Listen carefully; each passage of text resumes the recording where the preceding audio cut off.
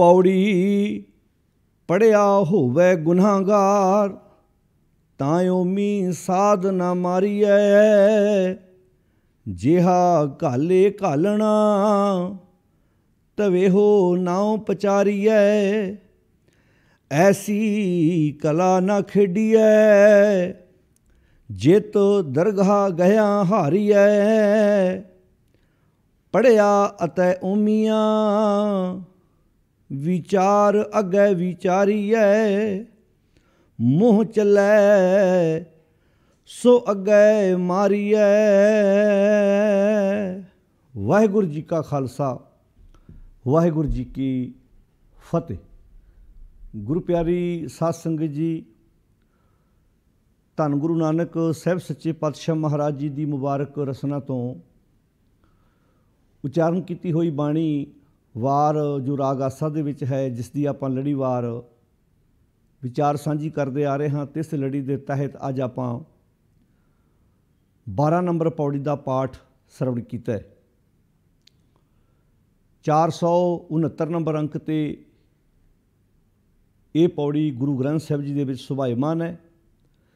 ਨਵਿਆਂ ਸਰੋਤਿਆਂ ਦੀ ਜਾਣਕਾਰੀ ਵਾਸਤੇ ਦੱਸ ਦਈਏ, ਕਿਉਂਕਿ ਜਿਹੜੇ ਸਰੋਤੇ ਲਗਾਤਾਰ ਸਰਵਣ ਕਰਦੇ ਆ ਰਹੇ ਨੇ, ਉਹਨਾਂ ਨੂੰ ਤੇ ਇਸ ਗੱਲ ਦਾ ਕੋਈ ਭੁਲੇਖਾ ਨਹੀਂ ਹੈ। ਕਿਉਂਕਿ ਪਹਿਲਾਂ ਸ਼ਲੋਕ ਆਉਂਦੇ ਨੇ, ਪੌੜੀ ਬਾਅਦ ਵਿੱਚ ਆਉਂਦੀ ਹੈ। ਜਦੋਂ ਵੀ ਮਹਾਰਾਜ ਨੇ ਵਾਰਾਂ ਲਿਖੀਆਂ ਨੇ, ਚਾਹੇ ਦੋ ਸ਼ਲੋਕ ਲਿਖੇ ਨੇ, ਚਾਹੇ ਤਿੰਨ ਸ਼ਲੋਕ ਲਿਖੇ ਨੇ, ਪਹਿਲਾਂ ਸ਼ਲੋਕ ਲਿਖੇ ਨੇ, ਪੌੜੀ ਗੁਰਦੇਵ ਜੀ ਅਖੀਰ ਵਿੱਚ ਲਿਖਦੇ ਨੇ, ਫਿਰ ਅਗਲੀ ਪੌੜੀ ਜਦੋਂ ਆਰੰਭ ਹੁੰਦੀ ਹੈ, ਫਿਰ ਸ਼ਲੋਕ ਆਉਂਦੇ ਨੇ ਐਦਾਂ ਤੋਂ ਗੁਰੂ ਪਾਤਸ਼ਾਹ ਜੀ ਨੇ ਬਹੁਤ ਸੋਹਣੇ ਤਰੀਕੇ ਨਾਲ, ਹਰ ਵਿਸ਼ੇ ਦੇ ਨਾਲ ਸੰਬੰਧਿਤ ਸ਼ਲੋਕ ਤੇ ਪੌੜੀਆਂ ਇੱਕ ਥਾਂ ਤੇ ਅੰਕਿਤ ਕੀਤੀਆਂ ਨੇ। ਪਰ ਆਪਾਂ ਇੱਕ ਚੀਜ਼ ਨੋਟ ਕੀਤੀ ਹੋਣੀ ਨਵੇਂ ਸਰੋਤਿਆਂ ਦੇ ਗਿਆਨ ਵਾਸਤੇ ਕਿ ਆਪਾਂ ਪਹਿਲਾਂ ਪੌੜੀ ਦੀ ਵਿਚਾਰ ਆਰੰਭ ਕਰਦੇ ਜਿਵੇਂ ਆਪਾਂ ਕੱਲ ਤੱਕ 11 ਨੰਬਰ ਪੌੜੀ ਦੇ ਨਾਲ ਜਿਹੜੇ ਸ਼ਲੋਕ ਆਏ ਸਨ, ਉਹਨਾਂ ਸ਼ਲੋਕਾਂ ਦੀ ਵਿਚਾਰ ਆਪਾਂ ਕੱਲ ਤੱਕ ਸਮਾਪਤ ਕਰ ਚੁੱਕੇ ਹਾਂ। ਅੱਜ ਆਪਾਂ 12 ਨੰਬਰ ਪੌੜੀ ਆਰੰਭ ਕਰਨੀ ਹੈ ਤੇ ਪਹਿਲਾਂ ਆਪਾਂ ਪੌੜੀ ਤੋਂ ਹੀ ਗੱਲ ਆਰੰਭ ਕਰ ਰਹੇ ਹਾਂ ਤੇ ਇਸ ਦੇ ਨਾਲ ਜਿਹੜੇ ਬਾਅਦ ਵਿੱਚ ਸ਼ਲੋਕ ਆਉਣਗੇ, ਉਹਨਾਂ ਦੀ ਵਿਚਾਰ ਆਪਾਂ ਇਦਾਂ ਵਿਸ਼ੇ ਮੁਤਾਬਕ ਇਸੇ ਪੌੜੀ ਨਾਲ ਜੋੜਦੇ ਹੋਏ ਜੋ ਗੁਰੂ ਸਾਹਿਬ ਜੀ ਨੇ ਸਾਨੂੰ ਗਿਆਨ ਬਖਸ਼ਿਸ਼ ਕੀਤਾ ਹੈ। ਕਿਹੜਾ ਵਿਸ਼ਾ ਵਸਤੂ ਸਾਨੂੰ ਸਮਝਾਇਆ ਗੁਰਦੇਵ ਜੀ ਨੇ? ਆਪਾਂ ਇਦਾਂ ਪੜਾਦਰ ਪੜਾ ਇੱਕ ਇੱਕ ਦਿਨ ਕਰਕੇ ਇਹਨਾਂ ਪੌੜੀਆਂ ਦੇ ਨਾਲ ਸ਼ਲੋਕਾਂ ਦੀ ਵਿਚਾਰ ਕਰਦੇ ਜਾਵਾਂਗੇ। ਅੱਜ ਆਪਾਂ 12 ਨੰਬਰ ਪੌੜੀ ਦਾ ਪਾਠ ਸਰਵਣ ਕੀਤਾ ਬੜਾ ਅਹਿਮ ਵਿਸ਼ਾ ਹੈ ਇਸ ਪੌੜੀ ਦੇ ਵਿੱਚ, ਕਿਉਂਕਿ ਵਿਸ਼ੇ ਤਾਂ ਸਾਰੇ ਗੁਰਦੇਵ ਜੀ ਨੇ ਬਹੁਤ ਸੋਹਣੇ ਚੁਣ ਚੁਣ ਕੇ ਸਾਨੂੰ ਹਰ ਪਹਿਲੂ ਤੋਂ ਗਿਆਨ ਬਖਸ਼ਿਸ਼ ਕੀਤਾ ਹੈ। ਪਰ ਕਈ ਵਿਸ਼ੇ ਕਈ ਵਾਰੀ ਐਡੇ ਦਿਲ ਨੂੰ ਟੁੰਬਣ ਵਾਲੇ ਹੁੰਦੇ ਨੇ ਜਾਂ ਰੋਜ਼ਮਰਾ ਦੀ ਜ਼ਿੰਦਗੀ ਜਿਹਨੂੰ ਆਪਾਂ ਕਹਿ ਸਕਦੇ ਹਾਂ ਜੋ ਸਾਡੇ ਸਾਹਮਣੇ ਘਟਨਾਵਾਂ ਵਾਪਰਦੀਆਂ ਨੇ ਤੇ ਕਈ ਵਾਰੀ ਅਸੀਂ ਉਲਝ ਜਾਂਦੇ ਆ ਵੀ ਇਹ ਹੁਣ ਗਿਆਨ ਕਿੱਥੋਂ ਲੈਣ ਜਾਈਏ? ਇਹ ਕਿੱਥੋਂ ਪੁੱਛਣ ਜਾਈਏ? ਕੁੰਡੀ ਕਿੱਥੋਂ ਖੁਲਾਈਏ? ਤਾਂ ਹੀ ਉਹ ਲੋਕ ਸਿਆਣਿਆਂ ਕੋਲ, ਤਾਂਤਰਿਕਾਂ ਕੋਲ, ਬਾਬਿਆਂ ਕੋਲ ਪੁੱਛਣ ਵਾਸਤੇ ਜਾਂਦੇ ਆ। ਇਹ ਸਮਝਦੇ ਵੀ ਸ਼ਾਇਦ ਇਹ ਸਾਡੇ ਨਾਲੋਂ ਜ਼ਿਆਦਾ ਸਿਆਣਾ ਹੈ। ਜੇ ਅਸੀਂ ਬਾਣੀ ਦੀ ਖੁਦ ਵਿਚਾਰ ਆਪ ਕਰਨ ਲੱਗ ਪਈਏ ਤੇ ਭੁਲੇਖਾ ਸਾਰਾ ਦੂਰ ਹੋ ਜਾਏਗਾ ਵੀ ਕਿੰਨੀ ਸੋਹਣੇ ਤਰੀਕੇ ਨਾਲ ਗੁਰੂ ਪਾਤਸ਼ਾਹ ਜੀ ਸਾਨੂੰ ਸੂਝ ਬਖਸ਼ਿਸ਼ ਕਰਦੇ ਨੇ। ਇਦਾਂ ਸਮਝੋ ਵੀ ਜਿਵੇਂ ਖੂਹ ਦਾ ਪਾਣੀ ਹੁੰਦਾ ਹੈ, ਉਹ ਜਿੰਨਾ ਮਰਜ਼ੀ ਕੱਢੀ ਜਾਓ, ਉਹ ਜਿੰਨਾ ਕੱਢੀ ਜਾਓ ਉਹਨਾਂ ਹੋਰ ਤੁਰਿਆ ਆਉਂਦਾ ਹੈ। ਟੋਬੇ ਦਾ ਪਾਣੀ ਸੁੱਕ ਸਕਦਾ ਹੈ। ਜੇ ਅਸੀਂ ਆਪ ਗੁਰਬਾਣੀ ਦੀ ਵਿਚਾਰ ਨਾਲ ਜੁੜ ਜਾਵਾਂਗੇ, ਫਿਰ ਸਾਡਾ ਬ੍ਰੇਨ, ਸਾਡਾ ਦਿਮਾਗ ਜਿਹੜਾ ਇੱਕ ਖੂਹ ਬਣ ਜਾਏਗਾ। ਜਿੰਨਾ ਮਰਜ਼ੀ ਇਹ ਚੋਂ ਵਿਚਾਰ ਕੱਢੀ ਜਾਓ, ਝਰਨੇ ਦੀ ਤਰ੍ਹਾਂ ਫੁੱਟਦਾ ਆਉਣਾ ਨਵੇਂ ਤੋਂ ਨਵਾਂ ਖਿਆਲ। ਫਿਰ ਮੁੱਕਣਾ ਹੀ ਨਹੀਂ, ਇਹ ਸਾਗਰ ਬਣ ਜਾਏਗਾ ਫਿਰ। ਫਿਰ ਅਸੀਂ ਗੁਰੂ ਦੀ ਬਾਣੀ ਨੂੰ ਪੜ੍ਹਦੇ ਜਾਵਾਂਗੇ, ਵਿਚਾਰਦੇ ਜਾਵਾਂਗੇ ਸਾਡੇ ਦਿਮਾਗ ਵਿੱਚ ਨਵੇਂ ਤੋਂ ਨਵੀਂ ਵਿਚਾਰ, ਨਵੇਂ ਤੋਂ ਨਵਾਂ ਖਿਆਲ ਗੁਰਬਾਣੀ ਨਾਲ ਸੰਬੰਧਿਤ ਆਉਂਦਾ ਜਾਏਗਾ। ਫਿਰ ਉਹ ਮਨੁੱਖ ਹੁਣ ਕੀ ਹੈ ਜਦੋਂ ਤੁਸੀਂ ਹੁਣ ਕਿਸੇ ਐਡਵੋਕੇਟ ਕੋਲ ਜਾਂਦੇ ਹੋ, ਵਕੀਲ ਕੋਲ ਜਾਂਦੇ ਹੋ, ਉਹਨੇ ਸਟੱਡੀ ਕੀਤੀ ਹੈ, ਉਹ ਇਦਾਂ ਮਿੰਟਾਂ, ਸਕਿੰਟਾਂ ਵਿੱਚ ਉਹ ਹੁਣ ਉਹਦਾ ਬ੍ਰੇਨ ਹੀ ਇੰਨਾ ਤੇਜ਼ ਹੋ ਜਾਂਦਾ ਹੈ।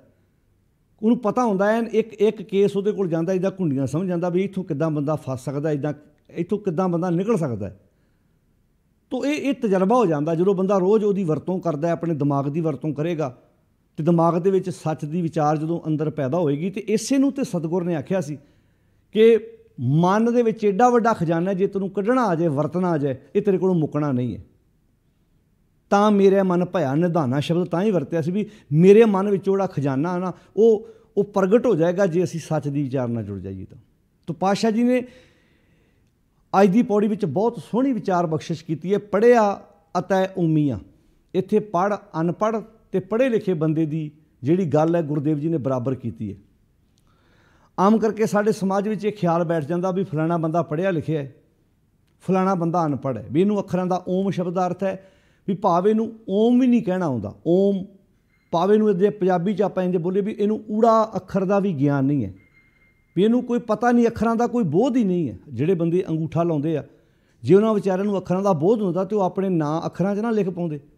ਪੁਰਾਣੇ ਸਮੇਂ 'ਚ ਆਪਾਂ ਵੇਖਦੇ ਹੁੰਦੇ ਸੀ ਜਿਹੜੇ ਬੰਦੇ ਅੰਗੂਠਾ ਇਦਾਂ ਲਾਉਂਦੇ ਸੀ, ਜਦੋਂ ਮਾੜੀ ਮੋਟ ਉਹਨੂੰ ਅੱਖਰਾਂ ਦੀ ਤਾਲੀਮ ਹੁੰਦੀ ਸੀ, ਗਿਆਨ ਹੁੰਦਾ ਸੀ ਤੇ ਫਿਰ ਉਹ ਸਿਗਨੇਚਰ ਕਰਦੇ ਸੀ ਸਾਈਨ ਕਰਦੇ ਸੀ ਆਪਣੇ ਹੱਥ ਦੇ ਵਿੱਚ ਪੈਨ ਫੜ ਕੇ, ਜੋ ਵੀ ਉਦੋਂ ਉਹਨਾਂ ਕੋਲ ਸਾਧਨ ਸੀ, ਕੋਈ ਕਲਮ ਹੁੰਦੀ ਸੀ, ਜਿੱਦਾਂ ਵੀ ਆਪਾਂ ਲਾ ਸਕਦੇ ਹਾਂ। ਤੋ ਇੱਥੇ ਪਾਤਸ਼ਾਹ ਜੀ ਕਹਿੰਦੇ ਨੇ ਪੜਿਆ ਲਿਖਿਆ ਤੇ ਅਨਪੜ੍ਹ ਬੰਦਾ। ਇਹ ਉਹਨੇ ਪੜ੍ਹੇ ਲਿਖੇ ਹੋਣ ਕਰਕੇ ਨਹੀਂ ਛੁੱਟਣਾ ਤੇ ਇਹਨੇ ਅਨਪੜ੍ਹ ਕਰਕੇ ਕਿਸੇ ਕਰਮ ਇੰਜ ਕਹਿ ਲਓ ਵੀ ਪੜ੍ਹਿਆ ਲਿਖਿਆ ਹੋਣ ਕਰਕੇ ਉਹ ਕਿਸੇ ਕਰਮ ਤੋਂ ਬਚ ਨਹੀਂ ਸਕਦਾ, ਵੀ ਇਹ ਪੜ੍ਹਿਆ ਲਿਖਿਆ ਬੰਦਾ ਹੈ, ਇਹਨੂੰ ਕਦੀ ਸਜ਼ਾ ਮਿਲਣੀ ਹੈ। ਤੇ ਇਹ ਅਨਪੜ੍ਹ ਬੰਦਾ ਇਹਨੂੰ ਸਜ਼ਾ ਮਿਲਣੀ ਹੈ। ਜਾਂ ਇੰਜ ਕਹਿ ਲਓ ਵੀ ਇਹ ਤੇ ਪੜ੍ਹਿਆ ਲਿਖਿਆ ਬੰਦਾ ਹੈ। ਜੇ ਇਹ ਬੰਦਾ ਇੰਨਾ ਮੰਦਕਰਮੀ ਹੈ ਤੇ ਪੜ੍ਹੇ ਲਿਖੇ ਅਨਪੜ੍ਹ ਬੰਦੇ ਦਾ ਕੀ ਹਾਲ ਹੋਏਗਾ? ਕਹਿੰਦੇ ਇੱਥੇ ਪੜ੍ਹਾਈ ਤੇ ਅਨਪੜ੍ਹਤਾ, ਇਹਦਾ ਇਹ ਮੈਟਰ ਨਹੀਂ ਹੈ। ਗੁਰੂ ਦੀਆਂ ਨਜ਼ਰਾਂ ਵਿੱਚ ਤੇਰੇ ਕਰਮ ਵੇਖੇ ਜਾਣੇ ਨੇ। ਤੇਰੀਆਂ ਹਰਕਤਾਂ ਵੇਖੀਆਂ ਜਾਣੀਆਂ ਨੇ। ਨਿਵੇੜਾ ਤੇਰੇ ਅਮਲਾਂ ਤੇ ਹੋਣਾ ਆਣ ਕੇ। ਪੜਿਆ ਅਤੈ ਓਮੀਆਂ ਵਿਚਾਰ ਅੱਗੇ ਵਿਚਾਰੀਏ ਵਿਚਾਰ ਅੱਗੇ ਵਿਚਾਰੀਏ ਦਾ ਅਰਥ ਹੈ ਅੱਗੇ ਕਿੱਥੇ ਗੁਰੂ ਦੀਆਂ ਨਜ਼ਰਾਂ 'ਚ ਸੱਚੀ ਦਰਗਾਹ 'ਚ ਉਹ ਸੱਚੀ ਦਰਗਾਹ ਕਿੱਥੇ ਹੈ ਜਦੋਂ ਮੈਂ ਆਪਣੇ ਗੁਰੂ ਨਾਲ ਜੁੜਦਾ ਜੇ ਮਾਲਕ ਸਾਡਾ ਸਰਵ ਵਿਆਪਕ ਹੈ ਤੇ ਦਰਗਾਹ ਵੀ ਮੇਰੇ ਅੰਦਰ ਹੈ ਕਿਉਂਕਿ ਗੁਰ ਮੇਰੇ ਸੰਗ ਸਦਾ ਹੈ ਨਾਲੇ ਦਰਗਾਹ ਕੋ ਵੱਖਰੀ ਨਹੀਂ ਬਣਾਈ ਉਹਨੇ ਜਿੱਥੇ ਰਾਜਾ ਬੈਠਦਾ ਸਭਾ ਵੀ ਉਹਦੀ ਉੱਥੇ ਹੀ ਹੁੰਦੀ ਹੈ ਕਿਉਂਕਿ ਇਹ ਸ਼ਬਦ ਇਦਾਂ ਦੇ ਨੇ ਚਿੱਤਰਗੁਪਤ ਦਰਗਾਹ ਇਹ ਕਹਿ ਕੇ ਕਿ ਸਾਰਾ ਕੁਝ ਉੱਪਰ ਟੰਗਿਆ ਗਿਆ ਤੇ ਆਮ ਲੋਕ ਭੁਲੇਖਿਆਂ ਵਿੱਚ ਪੈ ਗਏ ਵੀ ਸ਼ਾਇਦ ਦਰਗਾਹ, ਮੈਂ ਜਦੋਂ ਦਰਗਾਹ ਦੇ ਵਿੱਚ ਸਾਹਮਣੇ ਪੇਸ਼ ਹੋਣਾ, ਉੱਥੋਂ ਮੈਂ ਕਿਹੜਾ ਮੁਖ ਲੈ ਕੇ ਜਾਣਾ? ਤਾਂ ਬਾਣੀ 'ਚ ਬਾਰ-ਬਾਰ ਆਖਿਆ ਸੀ, ਫਰੀਦਾ ਜਿੰਨੀ ਕਮੀ ਨਾਹੇ ਗੁਣ, ਤੇ ਕੰਬੜੇ ਵਿਸਾਰ ਮਤ ਸ਼ਰਮਿੰਦਾ ਥੀਵੀਂ ਸਾਈਂ ਦੇ ਦਰਬਾਰ। ਹੁਣ ਸਾਈਂ ਦਾ ਦਰਬਾਰ ਕਿੱਥੇ ਹੋਏਗਾ? ਜੇ ਉਹ ਸਾਈਂ ਵਿਆਪਕ ਹੈ ਤੇ ਦਰਬਾਰ ਵੀ ਤੇ ਉਹਦਾ ਵਿਆਪਕ ਹੋਏਗਾ ਨਾ ਦਰਬਾਰ ਵੀ ਤੇ ਉਹਦਾ ਸਾਡੇ ਅੰਦਰ ਹੀ ਹੋਏਗਾ। ਜੇ ਮਾਲਕ ਸਾਡੇ ਅੰਦਰ ਬੈਠਾ ਹੈ, ਸਰਵ ਵਿਆਪਕ ਹੈ ਉਹਦਾ ਦਰਬਾਰ ਵੀ ਸਾਡੇ ਅੰਦਰ ਹੈ। ਯਾਨੀ ਕਿ ਆਪਣੇ ਅੰਦਰ ਹੀ ਉਹਦਾ ਦਰਬਾਰ ਹੈ, ਆਪ ਹੀ ਉਸ ਦਰਬਾਰ ਦਾ ਮਾਲਕ ਹੈ। ਤੋ ਇਹਨੂੰ ਇਦਾਂ ਸਮਝੋ ਪੜਿਆ ਅਤੇ ਓਮੀਆਂ ਵਿਚਾਰ, ਅੱਗੇ ਵਿਚਾਰੀਏ ਮੂੰਹ ਚੱਲੇ ਮੂੰਹ ਚੱਲੇ, ਸੋ ਅੱਗੇ ਮਾਰੀਏ। ਮੂੰਹ ਚੱਲੇ ਦਾ ਅਰਥ ਕੀ? ਮੂੰਹ ਜ਼ੋਰ। ਜਿਵੇਂ ਆਪਾਂ ਆਮ ਹੀ ਸ਼ਬਦ ਬੋਲਦੇ ਆ ਫਲਾਣਾ ਬੰਦਾ ਬੜਾ ਮੂੰਹ ਜ਼ੋਰ ਹੈ। ਜੋ ਉਹਦੇ ਮੂੰਹ ਚ ਆਉਂਦਾ, ਉਹ ਕੰਮ ਹੀ ਕਰਦਾ ਹੁਣ ਆਪਾਂ ਮਨਮੁਖ ਕਿਹਨੂੰ ਕਹਿੰਦੇ ਆ ਜਿਹੜਾ ਮਨ ਨੂੰ ਮੁੱਖ ਰੱਖ ਕੇ ਕੰਮ ਕਰਦਾ ਹੈ। ਆਪਾਂ ਕਹਿੰਦੇ ਨੇ ਵੀ ਇਹ ਬੜਾ ਮਨਮੁਖ ਬੰਦਾ ਹੈ ਤੇ ਮਨ ਮਰਜ਼ੀ ਦਾ ਮਾਲਕ ਹੈ, ਇਹ ਨਹੀਂ ਕਿਸੇ ਦੀ ਪਰਵਾਹ ਕਰਦਾ। ਇਹਨੂੰ ਜਿੰਨਾ ਮਰਜ਼ੀ ਪਿਓ ਸਮਝਾ ਲੈ, ਜਿੰਨੀ ਮਰਜ਼ੀ ਇਹਨੂੰ ਮਾਂ ਸਮਝਾ ਲੈ, ਜਿੰਨੀ ਮਰਜ਼ੀ ਇਹਨੂੰ ਦਾਦੀ ਇਹਦੇ ਨਾਲ ਮੱਥਾ ਮਾਰ ਲਵੇ। ਇਹ ਤੇ ਮੂੰਹ ਜ਼ੋਰ ਬੰਦਾ ਹੈ ਜੀ, ਘੰਟਿਆਂ ਬੱਧੀ ਇਹਨੂੰ ਤੁਸੀਂ ਅਕਲ ਦੇ ਲਓ। ਅਕਲ ਦੇ ਕੇ ਹਟੋ ਮੁੜ ਕੇ, ਫਿਰ ਆਪਣੀ ਮਰਜ਼ੀ ਕਰਦਾ ਉਹ। ਮੂੰਹ ਚੱਲੇ ਮੂੰਹ ਚੱਲੇ ਦਾ ਅਰਥ ਕੀ ਹੈ? ਜਿਹੜਾ ਮੂੰਹ ਜ਼ੋਰ ਬੰਦਾ ਹੈ। ਆਪਣੇ ਮਨ ਦੀ ਮਰਜ਼ੀ ਕਰਨ ਵਾਲਾ ਬੰਦਾ, ਧੱਕਾ ਕਰਨ ਵਾਲਾ ਬੰਦਾ। ਮੂੰਹ ਚੱਲੇ, ਸੋ ਅੱਗੇ ਮਾਰੀਏ। ਹਮੇਸ਼ਾ ਮਨ ਮਰਜ਼ੀ ਕਰਨ ਵਾਲਾ ਬੰਦਾ ਹੀ ਠੋਕਰਾਂ ਖਾਂਦਾ। ਜਿਹੜਾ ਮ- ਜਿਹੜਾ ਬੰਦਾ ਮਨ ਵਿੱਚ ਆਏ ਹੋਏ ਖਿਆਲਾਂ ਨੂੰ ਆਪਣੀ ਜ਼ਿੰਦਗੀ ਦਾ ਆਸਰਾ ਬਣਾ ਲੈਂਦਾ ਉਹਨੂੰ ਮਨ ਮੁਖ ਕਹਿੰਦੇ ਆ। ਜਿਹੜਾ ਗੁਰੂ ਦੀਆਂ ਵਿਚਾਰਾਂ ਨੂੰ ਆਪਣੀ ਜ਼ਿੰਦਗੀ ਦਾ ਆਸਰਾ ਬਣਾਉਂਦਾ ਜ਼ੋਰ, ਹੁਣ ਮਿਹਨਤ ਕਰਨੀ ਪੈਂਦੀ ਹੈ ਥੋੜੀ ਜੀ, ਗੁਰੂ ਦੇ ਜਿਹੜੇ ਦਿੱਤੇ ਵਿਚਾਰ ਆ, ਉਹਨਾਂ ਅਨੁਸਾਰ ਜ਼ਿੰਦਗੀ ਜਿਉਣ ਚ ਮਿਹਨਤ ਕਰਨੀ ਪੈਣੀ। ਇਹ ਘਾਟੀ ਚੜਨ ਜਿਵੇਂ ਕੋਈ ਘਾਟ ਚੜ੍ਹਨਾ ਹੋਵੇ, ਤੁਸੀਂ ਕੋਈ ਪਹਾੜੀ ਚੜ੍ਹਨੀ ਹੋਵੇ, ਤੁਸੀਂ ਉੱਚੇ ਥਾਂ ਤੇ ਚੜ੍ਹਨਾ ਹੋਵੇ, ਉੱਚੇ ਬੰਨੇ ਨੂੰ ਜਾਣ ਲੱਗਿਆਂ ਜ਼ੋਰ ਲੱਗਦਾ ਹੈ। ਪਰ ਨੀਵੇਂ ਪਾਸੇ ਨੂੰ ਉਤਰ ਲੱਗਿਆਂ ਥੋੜਾ ਜ਼ੋਰ ਲੱਗਦਾ ਹੁਣ ਤੁਸੀਂ ਮੰਨ ਲਓ, ਛੱਤ ਤੋਂ ਤੀਜੀ ਛੱਤ ਤੇ ਤੁਸੀਂ ਪਾਣੀ ਚੜਾਉਣਾ ਤੁਸੀਂ ਵੇਖੋ ਕਈਆਂ ਨੇ ਸ- ਮੋਟਰਾਂ ਲਾਈਆਂ ਹੁੰਦੀਆਂ, ਘਰਾਂ 'ਚ ਟੈਂਕੀ ਦਾ ਪਾਣੀ ਵੀ ਆਉਂਦਾ ਹੈ। ਭਾਵੇਂ ਤਾਂ ਵੀ ਉਹਨਾਂ ਨੇ ਟੁੱਲੂ ਪੰਪ ਲਾਏ ਹੁੰਦੇ ਆ, ਉਹ ਪਾਣੀ ਤਾਂ ਨੂੰ ਚੜਾਉਣਾ ਤੇ ਕਿਉਂਕਿ ਤਾਂ ਨੂੰ ਪਾਣੀ ਚੜਾਉਣ ਲੱਗਿਆਂ ਜ਼ੋਰ ਲੱਗਣਾ ਮੋਟਰ ਦਾ। ਪਰ ਜੇ ਟੈਂਕੀ ਖਾਲੀ ਕਰਨੀ ਹੋਵੇ, ਉਹਦੇ ਵਾਸਤੇ ਤੁਹਾਨੂੰ ਜ਼ੋਰ ਲਾਉਣ ਦੀ ਲੋੜ ਹੀ ਨਹੀਂ ਤੁਹਾਨੂੰ। ਐਦਾਂ ਮਾੜਾ ਜਿਹਾ ਪਾਈਪ ਨੂੰ ਮੂੰਹ ਲਾ ਕੇ ਕਿ ਵੀ ਤੁਸੀਂ ਹਵਾ ਖਿੱਚ ਲਓ, ਉਹ ਤੁਹਾਡੇ ਉਸੇ ਪ੍ਰੈਸ਼ਰ ਨਾਲ ਹੀ ਸਾਰੀ ਟੈਂਕੀ ਜਿਹੜੀ ਤੁਹਾਡੇ ਵਹਿੰਦਿਆਂ ਵਹਿੰਦਿਆਂ ਮਿੰਟਾਂ, ਸਕਿੰਟਾਂ ਵਿੱਚ ਖਾਲੀ ਹੋ ਜਾਣੀ ਹੈ। ਹੁਣ ਤੁਸੀਂ ਵੇਖੋ, ਛੱਤ ਦੇ ਉੱਪਰ ਸਮਾਨ ਚੜਾਉਣ ਨੂੰ ਕਿੰਨਿਆਂ ਬੰਦਿਆਂ ਦਾ ਜ਼ੋਰ ਲੱਗਦਾ ਉੱਤੋਂ ਲਾਉਣ ਲੱਗਿਆ ਇੱਕੋ ਬੰਦੇ ਸੁੱਟੀ ਸਕਦਾ ਥੱਲੇ। ਉਹ ਚੋ ਚੋ ਕੇ ਥੱਲੇ ਉਹਨੇ ਭੁਆਂ ਭੁਆਂ ਭੁਆਂ ਕੇ ਸਮਾਨ ਮਾਰਨਾ ਪਹਾੜ ਚੜਨ ਲੱਗਿਆ ਜ਼ੋਰ ਲੱਗਣਾ ਉੱਤਰ ਲੱਗਿਆ ਜ਼ੋਰ ਥੋੜਾ ਲੱਗਣਾ ਉੱਤਰ ਲੱਗਿਆ ਤਾਂ ਕੰਟਰੋਲ ਕਰਨਾ ਪੈਣਾ ਵੀ ਕਿਤੇ ਰੇੜ ਨਾ ਜਾਵੇ ਕੋਈ ਚੀਜ਼। ਹੁਣ ਤੁਸੀਂ ਉਹ ਗੱਡੀਆਂ ਜਦੋਂ ਚੜ੍ਹਦੀਆਂ, ਕਿੰਨਾ ਜ਼ੋਰ ਲੱਗਦਾ, ਸਾਹ ਲੈ ਲੈ ਕੇ ਚੜਾਉਣੀਆਂ ਪੈਂਦੀਆਂ। ਪਰ ਉੱਤਰ ਲੱਗਿਆ ਤੇ ਇਹ ਧਿਆਨ ਰੱਖਣਾ ਪੈਂਦਾ ਜ਼ੋਰ ਨਹੀਂ, ਉਦੋਂ ਤੇ ਸਗੋਂ ਬ੍ਰੇਕਾਂ ਦਾ ਜ਼ੋਰ ਲੱਗਦਾ ਹੈ ਵੀ ਇਹਨੂੰ ਹੌਲੀ ਹੌਲੀ ਕਿਦਾਂ ਗੱਡੀ ਨੂੰ ਉਤਾਰਨਾ ਹੈ। ਇਦਾਂ ਹੀ ਗੁਰੂ ਦੀ ਸਿੱਖਿਆ ਮੁਤਾਬਕ ਜ਼ਿੰਦਗੀ ਜਿਉਣੀ ਪਹਾੜ ਚੜਨ ਦੀ ਨਿਆਈ ਹੈ।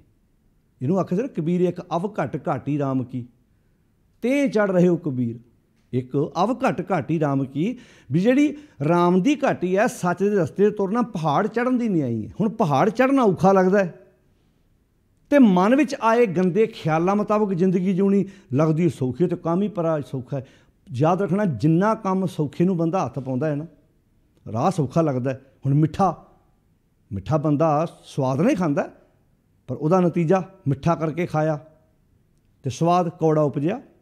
ਸਾਦ ਸਵਾਦ ਉਹ ਚੋਂ ਕੌੜਾ ਆਉਂਦਾ ਇਹ ਤਾਂ ਕੁਦਰਤ, ਆਪਾਂ ਜੋ ਸਮ- ਅੱਜ ਆਪਾਂ ਖਾਣਿਆਂ ਦੀ ਵੀ ਗੱਲ ਕਰੀਏ, ਜਿਹੜਾ ਖਾਣਾ ਤੁਹਾਡੀ ਜ਼ੁਬਾਨ ਨੂੰ ਜ਼ਿਆਦਾ ਸਵਾਦ ਲੱਗਦਾ ਹੈ, ਡਾਕਟਰਾਂ ਨੂੰ ਪੁੱਛ ਕੇ ਵੇਖੋ, ਕਹਿੰਦੇ ਤੁਹਾਡੀ ਸਿਹਤ ਲਈ ਨੁਕਸਾਨਦਾਇਕ ਹੈ।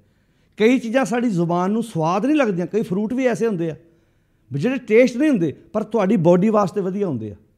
ਹੁਣ ਮੈਡੀਸਨ ਆਪਾਂ ਸਵਾਦ ਵਾਸਤੇ ਖਾਂਦੇ ਆ। ਜਿਹੜੇ ਹੁਣ ਕਈ ਗੋਲੀਆਂ ਕਿੰਨੀਆਂ, ਹੁਣ ਜਿਹੜੀ ਆ ਕਰੈਨ ਦੀ ਗੋਲੀ ਹੈ ਕਨੈਨ ਦੀ ਟੈਬਲੇਟ ਆ, ਕਿੰਨੀ ਕੌੜੀ ਹੈ, ਪਰ ਜਦੋਂ ਆਪਾਂ ਖਾਂਦੇ ਆ ਕਰਦੀ ਤੇ ਬਾਡੀ ਨੂੰ ਸਹੀ ਹੈ ਨਾ ਸਾਡੀ। ਹੁਣ ਮਿੱਠਾ ਲੱਗਦਾ ਤੇ ਚੰਗਾ ਹੈ, ਪਰ ਹੈਗਾ ਤੇ ਨੁਕਸਾਨਦਾਇਕ ਹੈ ਨਾ। ਤੋ ਪਾਸ਼ਾ ਇੱਥੇ ਕਹਿੰਦੇ ਨੇ, ਮੂੰਹ ਆਪਣੇ ਮਨ ਵਿੱਚ ਆਏ ਗੰਦੇ ਖਿਆਲਾਂ ਨੂੰ, ਕਿਉਂਕਿ ਮਨ ਵਿੱਚ ਗੰ- ਜੇ ਚੰਗੇ ਖਿਆਲ ਆਉਂਦੇ ਹੋਣ, ਤੇ ਫਿਰ ਮਨਮੁਖ ਥੋੜਾ ਫਿਰ ਤੇ ਗੁਰਮੁਖ ਕਵਾਂਗੇ ਪਰ ਮਨ ਵਿੱਚ ਤਾਂ ਗੰਦੇ ਖਿਆਲ ਆਉਂਦੇ, ਮਨ ਵਿੱਚ ਤਾਂ ਮਾੜੇ ਖਿਆਲ ਆਉਂਦੇ ਆ। ਹਾਂ, ਮਨ ਵਿੱਚ ਉਦੋਂ ਚੰਗੇ ਖਿਆਲ ਆਉਣਗੇ, ਜਦੋਂ ਗੁਰੂ ਦੀ ਵਿਚਾਰ ਨਾਲ ਜੁੜੇਗਾ। ਉਹ ਕਿਸੇ ਐਂਗਲ ਤੋਂ ਵੀ ਜੁੜ ਜਾਏ। ਹੁਣ ਮੂੰਹ ਚੱਲੇ ਦਾ ਅਰਥ ਕੀ ਹੈ?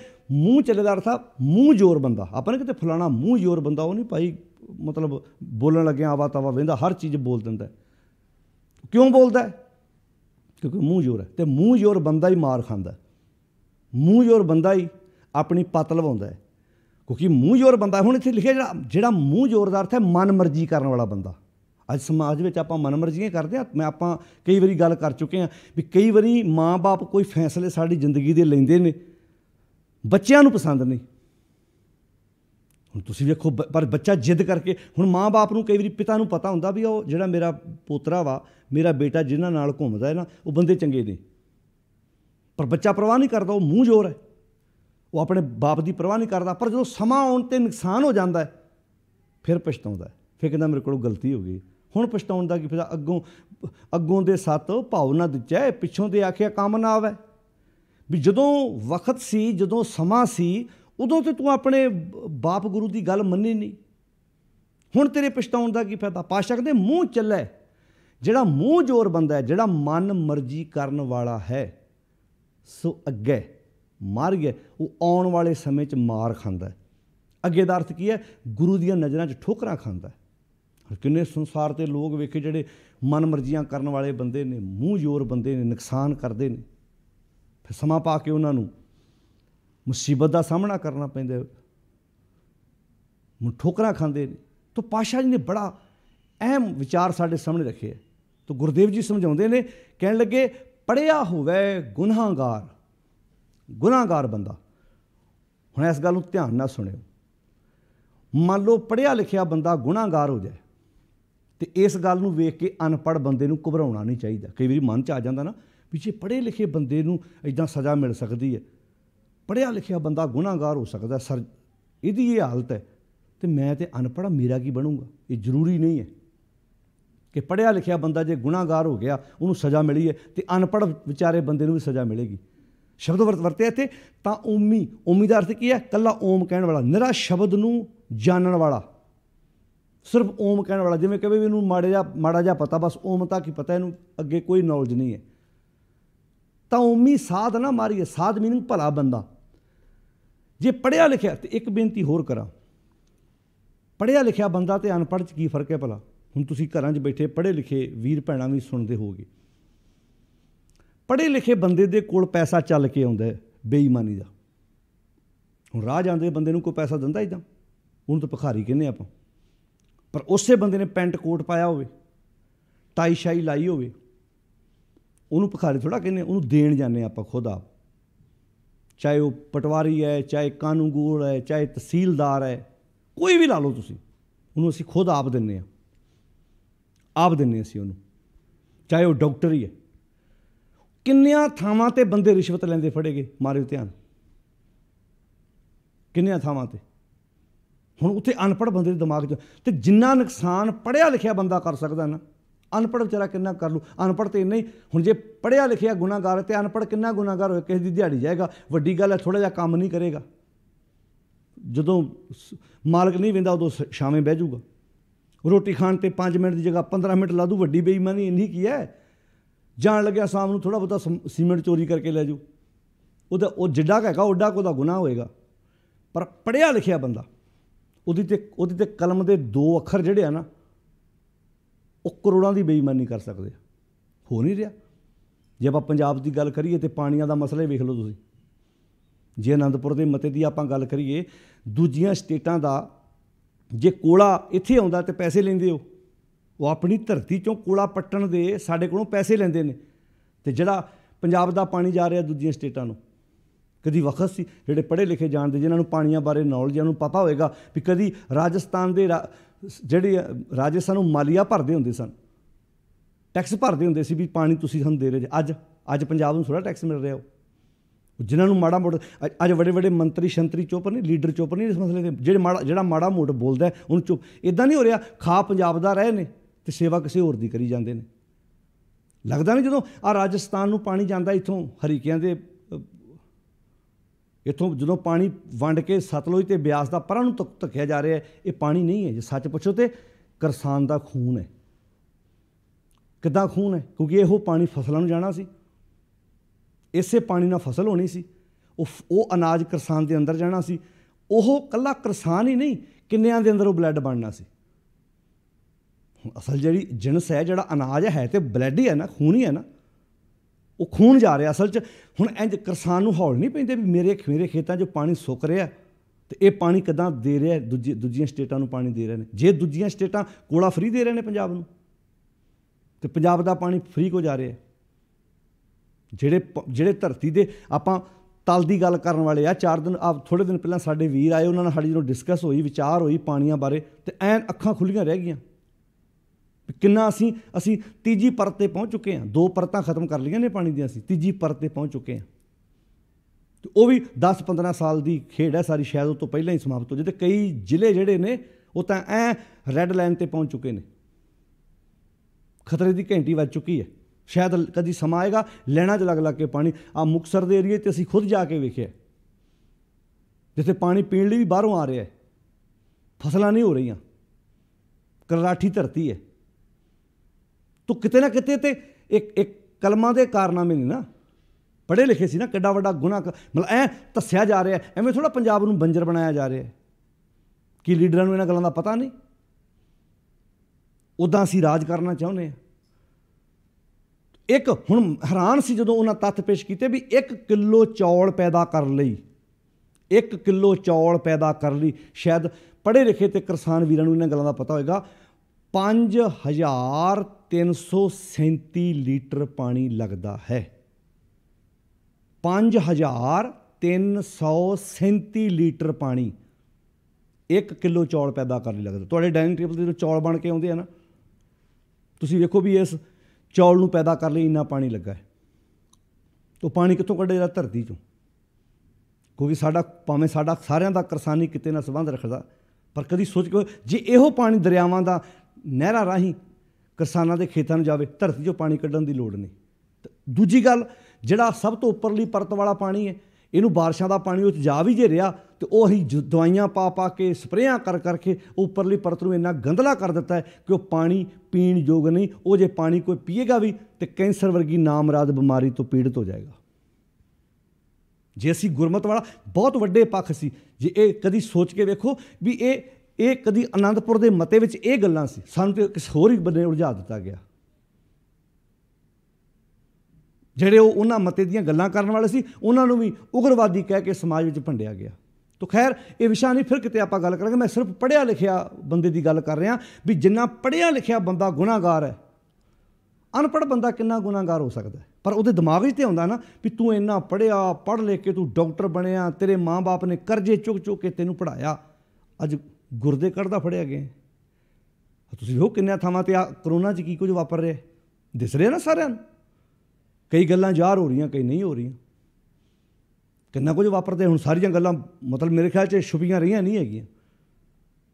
ਕੀ ਉਹ ਚ ਪੜ੍ਹੇ ਲਿਖੇ ਬੰਦੇ ਰਲੇ ਨਹੀਂ? ਉੱਤੋਂ ਤੋਂ ਲੈ ਕੇ ਥੱਲੇ ਤੱਕ ਬੰਦੇ ਜਿਹੜੇ ਉਹਦੇ ਉਹਦੇ ਘੇਰੇ ਵਿੱਚ ਨਹੀਂ ਆਉਂਦੇ? ਅਨਪੜ੍ਹ ਬੰਦਾ ਫਿਰ ਗੱਲ ਉੱਥੇ ਹੁੰਦੀ ਹੈ ਅਨਪੜ੍ਹ ਬੰਦਾ ਕਿੰਨੀ ਕੁ ਬੇਈਮਾਨੀ ਕਰ ਲੇਗਾ। ਹੁਣ ਮਹਾਰਾਜ ਕਹਿੰਦੇ ਤੂੰ ਪੜ੍ਹਿਆ ਲਿਖਿਆ ਬੰਦਾ ਹੈ। ਹੁਣ ਇਹਦਾ ਅਰਥ ਨਹੀਂ ਵੀ ਐਜੂਕੇਸ਼ਨ ਤੋਂ ਰੋਕ ਦੇ ਕਿਤੇ ਸੋਨੇ ਤੇ ਸੁਹਾਗਾ ਨਾ ਹੋ ਜੇ ਵੀ ਇੱਕ ਬੰਨੇ ਤੇਰੇ ਕੋਲ ਐਜੂਕੇਸ਼ਨ ਹੋਵੇ, ਦੂਜੇ ਬੰਨੇ ਐਜੂਕੇਸ਼ਨ ਦੇ ਨਾਲ ਤੇਰੇ ਕੋਲ ਗੁਰਮਤ ਵਾਲਾ ਪੱਖ ਹੋਵੇ, ਉਹ ਤਾਂ ਤੇਰੇ ਵਰਗਾ ਤੇ ਰਾਜਾ ਚਾਹੀਦਾ ਮਹਾਰਾਜ ਚਾਹੁੰਦੇ ਸਾਡੇ ਪੁੱਤ, ਮੈਂ ਕਹਿੰਦਾ ਸਾਡੇ ਬੰਦੇ ਐਮਐਲਏ ਹੋਣ ਐਮਪੀ ਹੋਣ, ਮੁੱਖ ਮੰਤਰੀ ਵਧੀਆ ਸੋਚਦਾ ਹੋਵੇ ਦੇਸ਼ ਦਾ ਪ੍ਰਧਾਨ ਮੰਤਰੀ ਕਮਾਲ ਦਾ ਹੋਵੇ, ਪਿੰਡਾਂ ਦੇ ਸਰਪੰਚ ਵਧੀਆ ਹੋਣ, ਸ਼ਹਿਰਾਂ ਦੇ ਕਾਉਂਸਲਰ ਵਧੀਆ ਹੋਣ, ਡੀਸੀ ਦੇ ਅਹੁਦੇ ਤੇ ਬੈਠਾ ਅਫਸਰ ਚੰਗੀ ਸੋਚਦਾ ਹੋਵੇ, ਉਹ ਕਿਸੇ ਵੀ ਘਰਾਣੇ ਨਾਲ ਸੰਬੰਧ ਰੱਖਦਾ ਹੋਵੇ, ਹਿੰਦੂ ਪਰਿਵਾਰ ਦਾ ਹੋਵੇ, ਮੁਸਲਮਾਨ ਹੋਵੇ, ਸਿੱਖ ਹੋਵੇ, ਮੈਂ ਕਿਸੇ ਜਾਤ ਪਾਤ ਦੀ ਗੱਲ ਨਹੀਂ ਕਰਦਾ। ਉਹਦੇ 'ਚ ਇਨਸਾਨੀਅਤ ਤੇ ਹੋਵੇ ਨਾ। ਅੱਜ ਲੱਗਦਾ ਨਹੀਂ ਅਗਲੇ ਨੂੰ ਲੱਗਦਾ ਵੀ ਆ ਬੱਕਰੇ ਵੱਢਣ ਵਾਲਾ ਤੇ ਕਸਾਈ ਲੱਗਦਾ ਉੱਚੇ ਅਹੁਦੇ ਤੇ ਬੈਠਾ ਹੈ ਕਸਾਈ ਨਹੀਂ। ਫ਼ਰਕ ਇੰਨਾ ਹੈ ਵੀ ਜਿਹੜਾ ਕਸਾਈ ਦਿਸ ਰਿਹਾ ਸਾਨੂੰ, ਉਹਨੇ ਤੇ ਇਦਾਂ ਇਦਾਂ ਉਹਦਾ ਧੌਣ ਇੱਕ ਬੰਨੇ ਵੱਢ ਕੇ ਟੰਗੀ ਹੈ ਤੇ ਬੱਕਰਾ ਇਦਾਂ ਲਮਕਾਇਆ ਹੋਇਆ, ਇਹ ਕਸਾਈ ਦਿਸਦਾ ਹੈ। ਤੇ ਜਿਹੜੇ ਇਹ ਕਸਾਈ ਆ, ਇਹਨਾਂ ਦੇ ਵੱਡੇ ਹੋਏ ਬੱਕਰੇ ਸਾਨੂੰ ਦਿਸਦੇ ਹੀ ਨਹੀਂ। ਪਤਾ ਨਹੀਂ ਕਿੰਨੇ ਕਿੰਨੇ ਬੰਦੇ ਸਿਸਟਮ ਤੋਂ ਸਤਾਏ ਹੋਏ ਆਪਣੀ ਜੀਵਨ ਲੀਲਾ ਖਤਮ ਕਰ ਲੈਂਦੇ ਨੇ। ਹੁਣ ਐਸ ਆਸਾ ਜੀ ਵਾਰ ਨੂੰ ਸਵੇਰੇ ਗੁਰਦੁਆਰੇ ਪੜਿਆ ਜਾ ਰਿਹਾ, ਜਦੋਂ ਪੜਿਆ ਹੋਵੇ ਗੁਨਾਹਗਰ, ਹੋ ਸਕਦਾ ਸਵੇਰੇ ਕੋਈ ਅਫਸਰ ਵੀ ਜਾ ਕੇ ਆਸਾ ਕੀ ਵਾਰ ਅੱਗੇ ਦਾ ਸਿਰ ਮਾਰਦਾ ਹੋਵੇਗਾ, ਵਾਹ ਵਾਹ ਕੀ ਬਾਤ ਆ, ਜਿਹਦੇ ਅਰਥ ਪੜੇ ਹੁੰਦੇ ਸੀ। ਕਿੰਨੇ ਅਖੌਤੀ ਧਾਰਮਿਕ ਲੋਕਾਂ ਨੇ ਨੁਕਸਾਨ ਕੀਤੇ ਨੇ। ਇਹ ਤੇ ਸੇਮ ਇਦਾਂ ਪੜਿਆ ਹੋਵੇ, ਗੁਨਾਹਗਾਰ। ਇਹਨੂੰ ਇਹਨੂੰ ਇਦਾਂ ਲਓ। ਕਬੀਰ ਮਨ ਜਾਣਤ ਸਭ ਬਾਤ। ਅਫਸਰ ਨੂੰ ਤਾਂ ਪਤਾ ਹੈ ਨਾ ਰਿਸ਼ਵਤ। ਹੁਣ ਕਈ ਵਾਰੀ ਅਨਪੜ੍ਹ ਬੰਦੇ ਨੂੰ ਪਤਾ ਹੀ ਨਹੀਂ ਵੀ ਰਿਸ਼ਵਤ ਦੇਣੀ ਗੁ- ਬੇਈਮਾਨੀ ਹੈ ਜਾਂ ਲੈਣੀ ਬੇਈਮਾਨੀ, ਉਹਨੂੰ ਕੀ ਪਤਾ? ਉਹਦੀ ਕਿਉਂਕਿ ਉਹਦੀ ਸੋਚ ਦਾ ਪੱਧਰ ਵੀ ਉਨਾ ਕੁ ਹੈ ਨਾ ਉਹਨੇ ਕਿ ਦਾਇਰੇ 'ਚ ਰਹਿੰਦਾ ਪਰ ਪੜ੍ਹੇ ਲਿਖੇ ਨੂੰ ਤਾਂ ਪਤਾ ਹੈ ਨਾ। ਪੜ੍ਹਿਆ ਲਿਖੇ ਨੂੰ ਤਾਂ ਪਤਾ ਹੈ ਵੀ ਮੈਂ ਜੇ ਡਾਕਟਰ ਵਾਂ, ਜਿਵੇਂ ਉੱਚੇ ਅਹੁਦੇ ਤੇ ਬੈਠਾ ਵਾਂ ਜੇ ਮੈਂ ਪੁਲਿਸ ਅਫਸਰ ਵਾਂ, ਜੇ ਮੈਂ ਜੱਜ ਵਾਂ, ਜੇ ਮੈਂ ਵਕੀਲ ਵਾਂ ਜਾਂ ਕਿਸੇ ਵੀ ਅਹੁਦੇ ਤੇ ਹਾਂ ਤੇ ਇੱਕ ਇੱਕ ਕ੍ਰਾਈਮ ਹੈ। ਕਿਉਂਕਿ ਕਿੰਨੇ ਬੰਦੇ ਰਿਸ਼ਵਤ ਲੈਂਦੇ, ਹੱਥ ਘੜੀਆਂ ਲੈਂਦੇ, ਲਾਏ ਤੇ ਫੜੇ ਗਏ। ਪਰ ਫਿਰ ਵੀ ਆਪਾਂ ਜੇ ਸਮਾਜ ਵਿੱਚ ਵੇਖੀਏ, ਤੇ ਇਹ ਤੇ ਇਹਦਾ ਕਬੀਰ ਮਨ ਜਾਣਤ ਸਭ ਬਾਤ। ਕਬੀਰ ਮਨ ਜਾਣਦਾ ਵਾ ਸਾਰੀਆਂ ਗੱਲਾਂ, ਪਰ ਜਾਣਤ ਹੀ ਔਗਣ ਕਰੇ। ਜਾਣਦੇ ਹੀ ਔਗਣ ਕਰ ਰਹੇ, ਜਾਣਦੇ ਹੀ ਉਹ ਗਲਤੀ ਕਰ ਰਹੇ। ਹੁਣ ਇਹਨੂੰ ਆਪਾਂ ਅਖੌਤੀ ਧਾਰਮਿਕ ਲੋਕਾਂ ਤੇ ਵੀ ਲਾ ਲਈਏ। ਅਖੌਤੀ ਧਾਰਮਿਕ ਲੋਕ ਵੀ ਤੇ ਇਦਾਂ ਹੀ ਹੈ ਪੜਾ ਪਤਾ ਸਾਰਾ ਕੁਝ ਹੈ ਚੋਰੀਆਂ ਚੋਰੀਆਂ, ਬੇਈਮਾਨੀਆਂ ਬਾਰੇ ਨਹੀਂ ਪਤਾ। ਰਾਗੀਆਂ, ਢਾਡੀਆਂ, ਪ੍ਰਚਾਰਕਾਂ ਬਾਬਿਆਂ ਨੂੰ ਨਹੀਂ ਪਤਾ। ਫਿਰ ਵੀ ਗੁਰਦੁ ਪ੍ਰਬੰਧਕ ਕਮੇਟੀਆਂ ਨੂੰ ਨਹੀਂ ਪਤਾ। ਕਿੰਨੀਆਂ ਥਾਵਾਂ ਤੇ ਸਾਰੇ ਕਰਪਟ ਹੋ ਜਾਂਦੇ ਨੇ। ਰਾਗੀ, ਪ੍ਰਚਾਰਕ, ਮੈਂ ਸਾਰਿਆਂ ਦੀ ਗੱਲ ਨਹੀਂ ਕਰਦਾ, ਪ੍ਰਬੰਧਕ ਵੀ। ਕਈਆਂ ਥਾਵਾਂ ਤੇ ਪ੍ਰਬੰਧਕ ਹੀ ਗੋਲਕਾਂ ਚੋਂ ਪੈਸੇ ਕਰਦੇ ਫੜੇ ਗਏ। ਕਮੇਟੀ ਚੋਂ ਹਾਰ ਕੇ ਉਸ ਬੰਦੇ ਨੂੰ ਬਾਹਰ ਕੱਢਣਾ ਪਿਆ। ਉਹਨੂੰ ਤਾਂ ਪਤਾ ਸੀ। ਅੱਛਾ, ਉਹਨਾਂ ਨੇ ਕਈ ਗ੍ਰੰਥੀ ਬਾਹਰ ਕੱਢੇ, ਕਦੀ ਚੋਰੀ ਕਰਦੇ। ਕੋਈ ਸੇਵਾਦਾਰ ਕੱਢੇ ਆਪ ਹੀ ਚੋਰੀ ਕਰਦਾ ਫੜਿਆ ਗਿਆ। ਇਹਨੂੰ ਕਹਿੰਦੇ ਨੇ, ਕਬੀਰ ਮਨ ਜਾਣਤ ਸਭ ਬਾਤ, ਜਾਣਤ ਹੀ ਅਵਗੁਣ ਕਰੈ, ਕਾਹੇ ਕੀ ਕੁਛਲਾਤ? ਕਾਦੀ ਖੁਸ਼ੀ ਵਾਲੀ ਗੱਲ? ਹਾਥ ਦੀਪ ਕੂਆਂ ਪਰ। ਇਹ ਤੇ ਇਦਾਂ ਵੀ ਹੱਥ ਵਿੱਚ ਦੀਵਾ ਪਿਆ, ਫੜਿਆ ਵਾ ਤੇ ਬੰਦਾ ਖੂਹ 'ਚ ਡਿੱਗ ਰਿਹਾ। ਹੁਣ ਕੋਈ ਬੰਦਾ ਖੂਹ 'ਚ ਡਿੱਗੇ ਤੇ ਉਹਦੀਆਂ ਅੱਖਾਂ ਵੀ ਨਾ ਆਉਣ ਤੇ ਫਿਰ ਲੋਕ ਤਰਸ ਕਰਨਗੇ, ਵੇਖੋ ਦਿਸਦਾ ਹੁੰਦਾ ਤੇ ਖੂਹ ਤੋਂ ਬਚ ਜਾਂਦਾ। ਇਹਦੇ ਕੋਲ ਤੇ ਅੱਖਾਂ ਨਹੀਂ ਸੀ ਵਿਚਾਰਿਆਂ ਕੋਲ। ਪਰ ਇੱਕ ਬੰਦਾ ਉਹ ਡਿੱਗ ਰਿਹਾ ਜਿਹਦੇ ਕੋਲ ਅੱਖਾਂ ਹੈਗੀਆਂ ਨੇ। ਹੱਥ ਵਿੱਚ ਦੀਵਾ ਵੀ ਹੈ, ਹਨੇਰਾ ਹੈਗਾ ਹੈ ਅੱਗੇ ਉਹਨੂੰ ਖੂਹ ਦਿਸ ਰਿਹਾ ਪਰ ਫਿਰ ਵੀ ਦੀਵੇ ਹੋਣ ਦੇ ਬਾਵਜੂਦ ਵੀ ਖੂਹ 'ਚ ਡਿੱਗ ਰਿਹਾ ਵਿਦਿਆ ਦਾ ਦੀਵਾ ਹੈ। ਵਿਦਿਆ ਚਾਨਣ ਕਿਹਾ ਜਾਂਦਾ ਸਕੂਲਾਂ ਦੇ ਬਾਹਰ ਲਿਖਿਆ ਵਿਦਿਆ ਤੀਜਾ ਨੇਤਰ ਹੈ, ਵਿਦਿਆ ਚਾਨਣ ਹੈ। ਚਾਨਣ ਦਾ ਦੀਵਾ ਫੜਿਆ, ਹੱਥ ਵਿੱਚ ਐ ਦੀਵਾ ਜਗਦਾ ਵਾ, ਫਿਰ ਵੀ ਖੂਹ 'ਚ ਡਿੱਗ ਰਿਹਾ ਰਿਸ਼ਵਤ ਦੇ, ਅਖੌਤੀ ਪਾਠਾਂ ਦੇ, ਮੰਤਰਾਂ ਦੇ, ਤਾਂਤਰਿਕਾਂ ਦੇ ਕਰਮ ਕਾਂਡਾਂ ਦੇ ਖੂਹ 'ਚ ਡਿੱਗ ਰਿਹਾ। ਖੂਹ ਹੈਗਾ, ਹਨੇਰੇ ਵਿੱਚ ਡਿੱਗ ਰਿਹਾ ਬੰਦਾ ਜਾਣ ਬੁੱਝ ਕੇ। ਭਗਤ ਕਬੀਰ ਜੀ ਦਾ ਬਹੁਤ ਪਿਆਰਾ ਸ਼ਲੋਕ ਹੈ, ਜਦੋਂ ਅਸੀਂ ਸ਼ਲੋਕਾਂ ਦੇ ਪਾਠ ਕਰਦੇ ਨਾ, ਕ- ਭਗਤ ਕਬੀਰ ਜੀ ਕਹਿੰਦੇ ਨੇ, ਕਬੀਰ, ਕੀਚੜ ਆਟਾ ਗਿਰ ਪਰਿਆ, ਕਿਛੂ ਨਾ ਆਇਓ ਹਾਥ, ਪੀਸਤ ਪੀਸਤ ਚਾਬਿਆ ਸੋਈ ਨਿਭਿਆ ਸਾਥ। ਅੱਜ ਕੱਲ ਤਾਂ ਚੱਕੀਆਂ ਘਰਾਂ ਵਿੱਚ ਲੱਗੀਆਂ ਹੋਈਆਂ ਨੇ, ਕਈਆਂ ਨੇ ਘਰਾਂ 'ਚ ਲਾਈਆਂ, ਆਟਾ ਪੀਸਾ ਪਸਾਇਆ ਬਾਜ਼ਾਰੋਂ ਲੈ ਆਉਂਦੇ ਨੇ। ਕਦੀ ਵਕਤ ਸੀ ਛੋਟੀਆਂ ਚੱਕੀਆਂ ਹੁੰਦੀਆਂ ਸੀ, ਹੱਥ ਵਾਲੀਆਂ। ਉਦੋਂ ਤੇ ਚੱਕੀ ਹੁੰਦੀ ਨਹੀਂ ਸੀ ਬਾਹਰ ਕਿਸੇ ਦੀ, ਆਪਣੀ ਆਪਣੇ ਘਰੇ ਚੱਕੀਆਂ ਤੇ ਆਟਾ ਪੀ ਲੈਣਾ। ਕਈ ਵਾਰੀ ਗਵਾਂਢੀ ਘਰ ਵੀ ਜਾ ਕੇ ਕਹਿਣਾ, ਉਹਦੇ ਘਰੋਂ ਆਟਾ ਪੀ ਲਿਆਈਏ।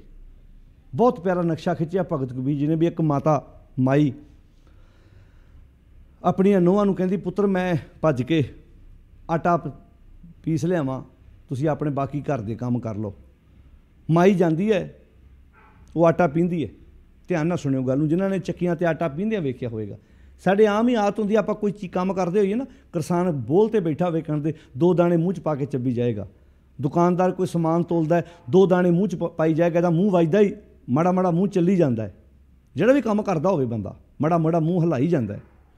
ਤੋ ਮਾਤਾ ਇਦਾਂ ਨਾਲੇ ਆਟਾ ਪੀ ਜਾਂਦੀ ਹੈ ਨਾਲੇ ਦੋ ਦਾਣੇ ਮੂੰਹ ਚ ਪਾ ਲੈਂਦੀ ਹੈ ਦੰਦਾਂ ਜਾਨ ਹੈਗੀ ਉਹ ਚੱਬੀ ਜਾਂਦੀ ਹੈ। ਘੰਟਾ ਡੇਢ ਦੋ ਘੰਟੇ ਲਾ ਕੇ ਉਹਨੇ ਆਟਾ ਤਿਆਰ ਕੀਤਾ। ਜਦੋਂ ਗਈ ਸੀ ਉਦੋਂ ਐ ਬੱਦਲਵਾਈ ਹੋਈ ਸੀ, ਮੌਸਮ ਬਣਿਆ ਸੀ, ਮੀਂਹ ਵਾਲਾ ਪਰ ਮੀਂਹ ਨਹੀਂ ਸੀ ਪਿਆ। ਜਦੋਂ ਪਰ ਜੋ ਘਰ ਨੂੰ ਆ ਰਹੀ ਸੀ ਤੇ ਮੀਂਹ ਪੈਣਾ ਸ਼ੁਰੂ ਹੋ ਗਿਆ। ਨਿੱਕੀ ਨਿੱਕੀ ਕਣੀ ਦਾ ਮੀਂਹ ਪੈ ਗਿਆ, ਗਲੀ ਗਿੱਲੀ ਹੋ ਗਈ, ਚਿੱਕੜ ਹੋ ਗਿਆ। ਸਿਰ ਤੇ ਪਰਾ ਚੱਕੀ ਹੈ ਮਾਤਾ ਨੇ। ਜਦੋਂ ਆਪਣੇ ਘਰ ਵੱਲ ਨੂੰ ਆ ਰਹੀ ਹੈ ਤੇ ਪੈਲ ਤਿਲਕ ਗਿਆ ਤੇ ਸਾਰਾ ਆਟਾ ਜ਼ਮੀਨ ਤੇ ਡਿੱਗ ਪਿਆ। ਹੁਣ ਆਟਾ ਇੱਕ ਐਸੀ ਚੀਜ਼ ਹੈ, ਜਿਹੜਾ ਚਿੱਕੜ 'ਚ ਡਿੱਗ ਪਵੇ ਤੇ ਉਹ ਬੰਦਾ ਤੇ ਬਹੁਤ ਦੂਰ ਦੀ ਗੱਲ ਹੈ, ਪਸ਼ੂਆਂ ਦੇ ਖਾਣ ਲਾਇਕ ਵੀ ਨਹੀਂ ਰਹਿੰਦਾ। ਉਹ ਚਿੱਕੜ ਵਿੱਚ ਕੋਈ ਕੋਈ ਚੀਜ਼ਾਂ ਜਿਹੜੀਆਂ ਮਿੱਟੀ 'ਚ ਰਲ ਜਾਣ ਤੇ ਧੋ ਕੇ ਫੇਰ ਸਾਫ਼ ਕਰੋ। ਆਟੇ ਨੂੰ ਕੀ ਧੋਗੇ ਹੁਣ ਤੁਸੀਂ? ਕਣਕ ਡਿੱਗੀ ਹੁੰਦੀ, ਧੋ ਲੈਂਦੇ ਤੁਸੀਂ। ਪਰ ਕਣਕ ਨੂੰ ਕੀ ਧੋ, ਹੁਣ ਤੁਸੀਂ ਆਟੇ ਨੂੰ ਕੀ ਧੋਗੇ ਹੁਣ ਉੱਥੇ ਭਗਤ ਕਬੀਰ ਜੀ ਨੇ ਉਦਾਹਰਨ ਮਾਤਾ ਜੀ ਦੇ ਕੇ ਸਮਝਾਇਆ ਸਾਨੂੰ। ਕਹਿੰਦੇ, ਕਬੀਰ, ਕੀਚੜ ਆਟਾ ਗਿਰ ਪਰਿਆ। ਚਿੱਕੜ ਵਿੱਚ ਆਟਾ ਡਿੱਗ ਪਿਆ। ਕਿਸ਼ੂ ਨਾ ਆਇਓ ਹੱਥ, ਹੁਣ ਉਹ ਚੋਂ ਹੱਥ ਕੀ ਆਉਣਾ ਸੀ? ਉਹਦੀ ਮਾਤਾ ਦੀ 2 ਘੰਟੇ ਦੀ ਮਿਹਨਤ ਗਈ ਹੈ ਜਾਈ ਗਈ ਇੱਕ ਮਿਹਨਤ ਤਾਂ ਜਾਈ ਗਈ, ਇੱਕ ਆਟਾ ਜਿਹੜਾ ਕਣਕ ਦਾ ਤਿਆਰ ਕੀਤਾ, ਉਹ ਸੀ, ਉਹ ਆ ਜਾਈ ਗਿਆ ਜਿਹੜੀ ਭਰਾ, ਦੋ ਭਰਾ ਤਾਂ ਮਾਤਾ ਵਿਚਾਰੀ ਨੇ ਮਿਹਨਤ ਕਰਕੇ ਆਟਾ ਤਿਆਰ ਕੀਤਾ ਸੀ, ਉਹ ਗਿਆ।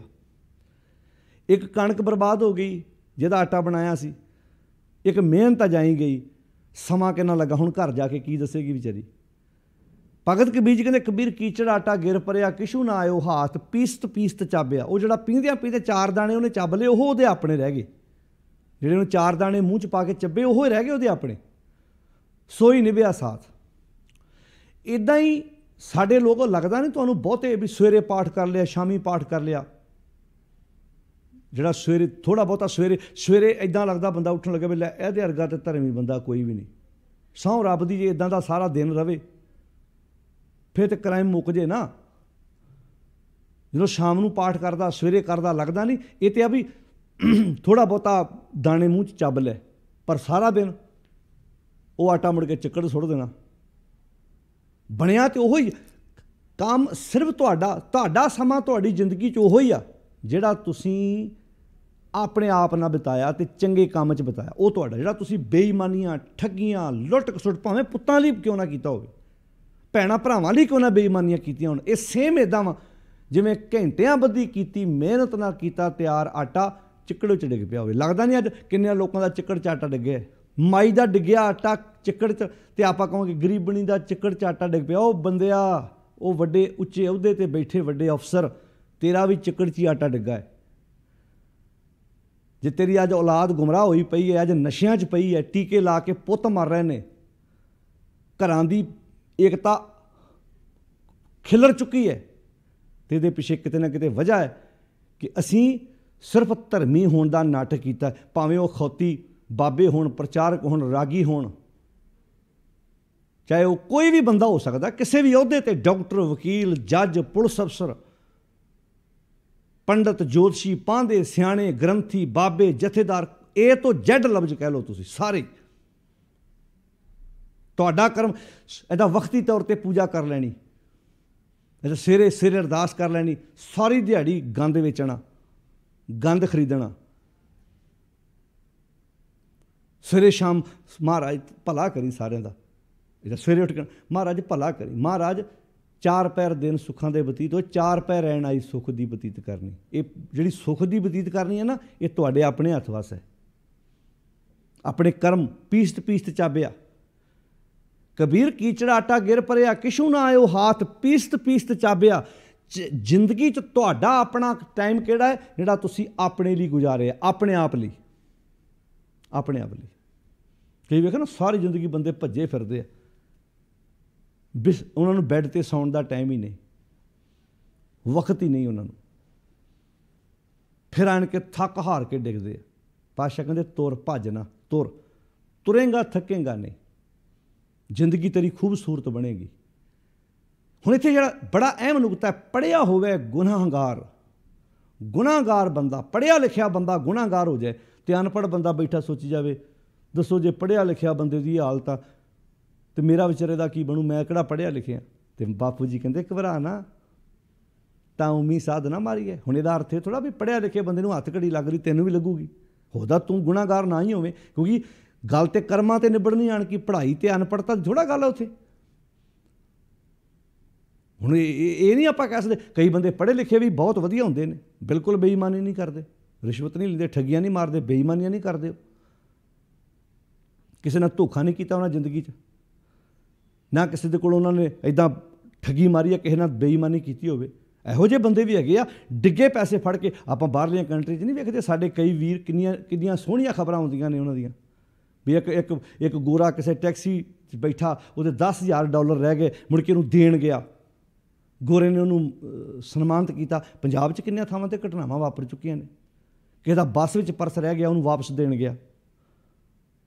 ਤੋ ਇਹ ਇਹ ਗੱਲਾਂ ਨੇ ਜਿਹੜੀਆਂ ਜ਼ਿੰਦਗੀ 'ਚ ਬੜੀਆਂ ਅਹਿਮੀਅਤ ਰੱਖਦੀਆਂ। ਤੇ ਇਹ ਗੱਲ ਸੱਚੀ ਗੱਲ ਹੈ, ਮੈਨੂੰ ਅੱਜ ਵੀ ਯਾਦ ਹੈ, ਇਹ ਇੱਥੇ ਲੁਧਿਆਣੇ ਕਾਲਜ ਦੀ ਗੱਲ ਹੈ, ਗੁਰਮਤ ਗਿਆਨ ਮਿਸ਼ਨ ਕਾਲਜ 'ਚ, ਇਹ 1900 ਮੇਰੇ ਖਿਆਲ 'ਚ 98 ਦੀ ਗੱਲ ਹੈ, ਉੱਥੋਂ ਅਸੀਂ ਕਾਲਜ ਵਿੱਚ ਪੜ੍ਹਦੇ ਸੀ। ਤੇ ਇੱਥੇ ਹੀ ਇੱਕ ਸਾਡੇ ਸਰਦਾਰ ਖੜਕ ਸਿੰਘ ਸਾਡੇ ਆਪਣੇ ਵਾਰਡਨ ਹੁੰਦੇ ਸੀ, ਬਾਅਦ ਵਿੱਚ ਉਹਨਾਂ ਦੀ ਡੈਥ ਹੋ ਗਈ। ਤੇ ਬਹੁਤ ਸੋਹਣੇ ਤਰੀਕੇ ਨਾਲ ਉਹਨਾਂ ਨੇ ਸਾਰੇ ਕਾਲਜ ਦਾ ਪ੍ਰਬੰਧ ਚਲਾਉਣਾ, ਸਰਦਾਰ ਖੜਕ ਸਿੰਘ ਉਹਨਾਂ ਨੇ। ਕਿਉਂਕਿ ਉਹਨਾਂ ਨੇ ਸਾਨੂੰ ਬੜਾ ਇੱਥੇ ਪਿਆਰ ਦਿੱਤਾ ਜਦੋਂ ਇੱਥੇ ਕਾਲਜ ਵਿੱਚ ਅਸੀਂ ਇੱਥੇ ਪੜ੍ਹਦੇ ਹੁੰਦੇ ਸੀ ਉਹਨਾਂ ਦੇ ਕੋਲ। ਉਹਨਾਂ ਨੇ ਸਾਰੀ ਐ ਬੱਚਿਆਂ ਨੂੰ ਕੋਈ ਟੀਚਰਾਂ ਤੇ ਪੜ੍ਹਾ ਕੇ ਆਪੋ ਆਪਣੇ ਘਰਾਂ ਨੂੰ ਚਲ ਜਾਣਾ, ਕੁਝ ਟੀਚਰ ਰਹਿੰਦੇ ਹੁੰਦੇ ਸੀ। ਤੇ ਸਰਦਾਰ ਖੜਕ ਸਿੰਘ ਹੁਣਾਂ ਦਾ ਮੈਂ ਗੱਲ ਦੱਸਣ ਲੱਗਾ ਵੀ ਇੱਥੇ ਇੱਕ ਵਿਅਕਤੀ ਉਹਨੇ ਆਪਣੀ ਬੇਟੀ ਦਾ ਆਨੰਦ ਕਾਰਜ ਕਰਨਾ ਸੀ ਤੇ ਬੈਂਕ ਚੋਂ ਪੈਸੇ ਕਢਾ ਕੇ ਲਿਆਇਆ ਤੇ ਉਹਨੇ ਆਪਣੀ ਜਿਹੜਾ ਸਾਈਕਲ ਦਾ ਪਿਛਲਾ ਹੁੰਦਾ ਜਿੱਥੇ, ਜਿਹਨੂੰ ਆਪਾਂ ਕੈਰੀਅਰ ਕਹਿੰਦੇ ਉਹਦੇ ਤੇ ਉਹਨੇ ਲਿਆ ਕੇ ਤੇ ਝੋਲਾ ਟੰਗਿਆ, ਉੱਤੇ ਗੋਭੀ ਦੇ ਫੁੱਲ, ਕੁਝ ਸਬਜ਼ੀ ਰੱਖੀ ਤੇ ਥੱਲੇ ਪੈਸੇ ਸੀ ਉਹਦੇ। ਤੇ ਉਹ ਰੋਡ ਦੇ ਉੱਤੇ ਜਿਵੇਂ ਉਹ ਬਣੀ ਹੁੰਦੀ ਹੈ, ਬ੍ਰੇਕਰ ਜਿਹਾ ਬਣਿਆ ਹੁੰਦਾ ਉਤੋਂ ਕਿਤੇ ਉਹਦਾ ਸਾਈਕਲ ਜਦੋਂ ਬੁੜਕਿਆ ਤੇ ਉਹ- ਉਹਦਾ ਪਿੱਛੋਂ ਝੋਲਾ ਡਿੱਗ ਪਿਆ ਕਾਲਜ ਦੇ ਬਿਲਕੁਲ ਬਾਹਰ-ਬਾਹਰ ਉਹ ਆਪ ਘਰ ਚਲਾ ਗਿਆ। ਉੱਥੋਂ ਸਾਡੇ ਵੀਰਾਂ ਸੋਚਿਆ ਵੀ ਸਬਜ਼ੀ ਹੈ, ਚੁੱਕ ਕੇ ਲਿਆ ਕੇ ਤੇ ਅੰਦਰ ਵਾਰਡਨ ਸਾਹਿਬ ਨੂੰ ਫੜਾਤਾ। ਵੀ ਸਰਦਾਰ ਖੜਕ ਸਿੰਘ ਜੀ, ਆ, ਅਸੀਂ ਬਾਹਰ ਖੇਡ ਰਹੇ ਸੀ ਤੇ ਆ ਕਿਸੇ ਦਾ ਝੋਲਾ ਡਿੱਗਾ ਹੈ। ਹੁਣ ਜਦੋਂ ਉਹ ਉੱਚੋਂ ਖੋ- ਗੋਭੀ ਦੇ ਫੁੱਲ ਵੇਖੇ ਥੱਲੇ ਉਹਦੇ ਪੈਸੇ ਹੁਣ ਗਰੀਬ ਬੰਦਾ ਕਿੱਥੋਂ ਨੇ ਮਿਹਨਤ ਕੀਤੀ? ਮੇਰੇ ਖਿਆਲ 'ਚ ਇਹ ਇਹ ਗੱਲ 98 ਦੀ ਹੈ। ਉਹਨੇ ਆਪਣੇ ਪੁੱਤਰ ਦੀ ਵਿਆਹ ਵਾਸਤੇ ਜੋ ਪੈਸਾ ਇਕੱਠਾ ਕੀਤਾ ਸੀ, ਉਹ ਵਿਚਾਰਾ ਲੈ ਕੇ ਆ ਰਿਹਾ ਸੀ। ਕਿਤੇ ਬੈਂਕ ਚੋਂ ਲੈ ਜਾਂ ਕਿਸੇ ਕੋਲੋਂ ਲੈ, ਇਹ ਤੇ ਹੁਣ ਉਹ ਜਾਣਦਾ। ਉਹ ਬੈ, ਉਹ ਬੈ- ਉਹਦਾ, ਉਹਦੇ ਆਫਿਸ ਵਿੱਚ ਉਹ ਬੈਗ ਉਦਾਂ ਰੱਖ ਦਿੱਤਾ, ਜਿਹੜਾ ਉਹਦਾ ਝੋਲਾ ਸੀ। ਜਦੋਂ ਵਾਪਸ ਆਇਆ, ਉਹ ਲੱਭਦਾ ਲੱਭਦਾ ਕਿਤੇ 2 ਘੰਟਿਆਂ ਬਾਅਦ ਵਿਚਾਰਾ ਖਪਦਾ, ਕਮਲਾ ਹੋਇਆ। ਕੋਈ ਕੁਦਰਤੀ ਗੱਲ ਹੈ, ਜਿਸ ਬੰਦੇ ਕੋ ਪੂੰਜੀ ਹੋਈ ਹੋਵੇ ਕਰਦਿਆ ਕਰਦੇ ਆਣ ਕੇ ਕਾਲਜ ਦੇ ਬਾਹਰ ਵਿਦਿਆਰਥੀਆਂ ਨੂੰ ਪੁੱਛਦਾ ਜੀ, ਇੱਥੇ ਮੇਰਾ ਝੋਲਾ ਡਿੱਗਾ ਸੀ। ਤੇ ਵਿਦਿਆਰਥੀ ਕਹਿੰਦੇ, ਹਾਂਜੀ, ਇਸ ਝੋਲਾ ਡਿੱਗਾ ਸੀ, ਲਿਆ ਕੇ ਅੰਦਰ ਫੜਾ ਦਿੱਤਾ ਸੀ। ਅੰਦਰ ਆਣ ਕੇ ਉਹਨੂੰ ਝੋਲਾ ਫੜਾ। ਹੈਰਾਨੀ ਦੀ ਗੱਲ ਸੀ, ਉਹਦੇ ਅੱਖਾਂ 'ਚ ਪਾਣੀ ਆ ਗਿਆ। ਕਿਉਂਕਿ ਉਹਦੇ ਕੋਲੋਂ ਤਾਂ ਜਾ ਚੁੱਕੇ ਸੀ ਇੱਕ ਵਾਰ, ਜਦੋਂ ਉਹਨਾਂ ਨੂੰ ਉਦਾਂ ਹੀ ਗੋਭੀ ਦੇ ਫੁੱਲ, ਜਿਹੜੀ ਸਬਜ਼ੀ ਨਾਲ ਹੀ ਉਹ ਪੈਸੇ ਫੜਾਏ। ਤਾਂ ਇਹ ਮੈਂ ਗੱਲ ਦੱਸ ਰਿਹਾ ਵੀ ਇਹ ਇਹ ਹੋ ਸਕਦਾ ਕਿਸੇ ਹੋਰ ਜਗ੍ਹਾ ਤੇ ਡਿੱਗੇ ਹੁੰਦੇ। ਅਗਲਾ ਕਹਿੰਦਾ, ਕੋਈ ਗੱਲ ਨਹੀਂ, ਹੁਣ ਤੇ ਸਾਡੇ ਆਪਣੇ ਨੇ। ਤੋ ਇਹ ਇਹ ਇੱਕ ਇਮਾਨਦਾਰੀ ਦੀ ਗੱਲ ਹੈ ਸਾਡੇ ਅੱਖੀਂ ਵੇਖਣ ਦੀ ਗੱਲ ਅਸੀਂ ਜਦੋਂ ਕਾਲਜ ਇਹ ਇਹ ਮੈਂ 1998 ਦੀ ਗੱਲ ਦੱਸ ਰਿਹਾ, ਅੱਜ ਤੋਂ 22 ਸਾਲ ਪਹਿਲਾਂ ਦੀ ਗੱਲ ਹੈ। ਤੋ ਇਹ ਗੱਲਾਂ ਹੁੰਦੀਆਂ ਨੇ, ਬੜੇ ਬੜੇ ਸਾਡੇ ਵੀਰ ਇਦਾਂ ਦੇ ਨੇ, ਜਿਨ੍ਹਾਂ ਨੇ ਇਦਾਂ ਦੇ ਕਰਮ ਕੀਤੇ, ਕਿਤੇ ਪੈਸੇ ਕਿਸੇ ਦਾ ਪਰਸ ਡਿੱਗਾ ਹੋਏਗਾ ਤਾਂ ਉਹਨੂੰ ਵਾਪਸ ਦੇਣ ਗਏ ਹੋਣਗੇ। ਹੁਣ ਇੱਕ ਬੰਦਾ ਕਿਸੇ ਦੀ ਜੇਬ 'ਚ ਹੱਥ ਪਾ ਕੇ ਕੱਢਦਾ ਹੈ, ਇੱਕ ਬੰਦਾ ਕਿਸੇ ਦਾ ਡਿੱਗਿਆ ਪਰਸ ਫੜਾਉਣ ਜਾ ਰਿਹਾ ਹੈ, ਦੋਵਾਂ 'ਚ ਫ਼ਰਕ ਵੇਖੋ। ਤੇ ਅਗਲਾ ਕਿੰਨਾ ਮਹਿਸੂਸ ਕਰਦਾ, ਕਹਿੰਦਾ ਵੀ ਵਾਕਿਆ ਵੀ ਇਨਸਾਨੀਅਤ ਅਜੇ ਮਰੀ ਨਹੀਂ ਹੈ, ਅਜੇ ਇਨਸਾਨੀਅਤ ਜਿੰਦਾਬਾਦ ਹੈ। ਤੇ ਜੇ ਮੰਨ ਲਓ ਮੰਨ ਲਓ ਉਹ ਪੈਸੇ ਤੇ ਬੇਈਮਾਨੀ ਹੋ ਜਾਂਦੀ, ਮੰਨ ਲਓ ਐਸਾ ਹੁੰਦਾ, ਉਹਨੂੰ ਕਿਤੇ ਪਤਾ ਲੱਗ ਜਾਂਦਾ, ਉਹਦਾ ਵਿਸ਼ਵਾਸ ਰਹਿੰਦਾ ਕਦੀ ਗੁਰੂ ਦੇ ਉੱਤੇ। ਵੀ ਯਾਰ ਸਿੱਖ ਵੀ ਇਦਾਂ ਕਰਦੇ ਆ। ਉਹ ਗੁਰੂ ਪਿਆਰਿਆ, ਕਿਸੇ ਨਾਲ ਬੇਈਮਾਨੀਆਂ ਕਰ ਲੱਗਿਆ, ਠੱਗੀਆਂ ਮਾਰ ਲੱਗਿਆ, ਕਮ ਸੇ ਕਮ ਆਪਣੇ ਗੁਰੂ ਵੱਲ ਧਿਆਨ ਜ਼ਰੂਰ ਮਾਰ। ਇਮਾਨਦਾਰੀ ਹਰ ਥਾਂ ਤੇ ਹੈ। ਇਮਾਨਦਾਰੀ ਜਿਹੜੀ ਜਿੰਦਾਬਾਦ ਹੈ ਨਾ, ਇਹ ਆਪਾਂ ਨਹੀਂ ਕਿਸੇ ਦੇ ਇਕੱਲੀ ਸਿ- ਸਿੱਖਾਂ 'ਚ ਹੈ, ਹੋਰ ਵੀ ਬਹੁਤ ਕੌਮਾਂ ਜਿਨ੍ਹਾਂ 'ਚ ਇਮਾਨਦਾਰੀ ਵੀ ਹੈਗੀ ਹੈ। ਇਮਾਨਦਾਰੀ ਦਾ ਸਬੰਧ ਤੁਹਾਡੀ ਕੌਮ ਨਾਲ ਨਹੀਂ ਹੈ। ਇਮਾਨਦਾਰੀ ਦਾ ਸਬੰਧ ਤੁਹਾਡੇ ਆਪਣੇ ਆਪ ਨਾਲ ਹੈ। ਤੁਸੀਂ ਕਈ ਕਈ ਮੁਸਲਮਾਨ ਭਰਾ ਵੀ ਹੋ ਸਕਦੇ ਆ, ਕੋਈ ਹਿੰਦੂ ਪਰਿਵਾਰ ਵੀ ਹੋ ਸਕਦਾ ਜਿਸ ਬੰਦੇ ਨੇ ਜ਼ਿੰਦਗੀ 'ਚ ਕਦੀ ਕਿਸੇ ਨਾਲ ਠੱਗੀ ਨਾ ਮਾਰੀ ਹੋਵੇ। ਤੋਂ ਅਸੀਂ ਇਹ ਗੱਲ ਕਰ ਰਹੇ ਹਾਂ ਹੁਣ ਇਹ ਜਿਹੜਾ ਉਪਦੇਸ਼ ਹੈ, ਸਮੁੱਚੀ ਮਾਨਵਤਾ ਲਈ ਹੈ। ਹੁਣ ਪੜ੍ਹਿਆ ਲਿਖਿਆ ਬੰਦਾ ਕੱਲਾ ਕੋ ਸਿੱਖ ਹੀ ਥੋੜਾ ਹਿੰਦੂ ਵੀ ਪੜ੍ਹੇ ਲਿਖੇ ਵੀਰ ਹੈਗੇ ਆ, ਸਾਡੇ ਮੁਸਲਮਾਨ ਭਰਾ ਵੀ ਉੱਚਿਆਂ ਅਹੁਦਿਆਂ ਤੇ ਬੈਠੇ ਹੋਏ ਨੇ, ਗੋਰੇ ਵੀ ਸਾਡੇ ਭਰਾ ਬੜੇ ਉੱਚਿਆਂ ਅਹੁਦਿਆਂ ਤੇ ਬੈਠੇ ਹੋਏ ਨੇ।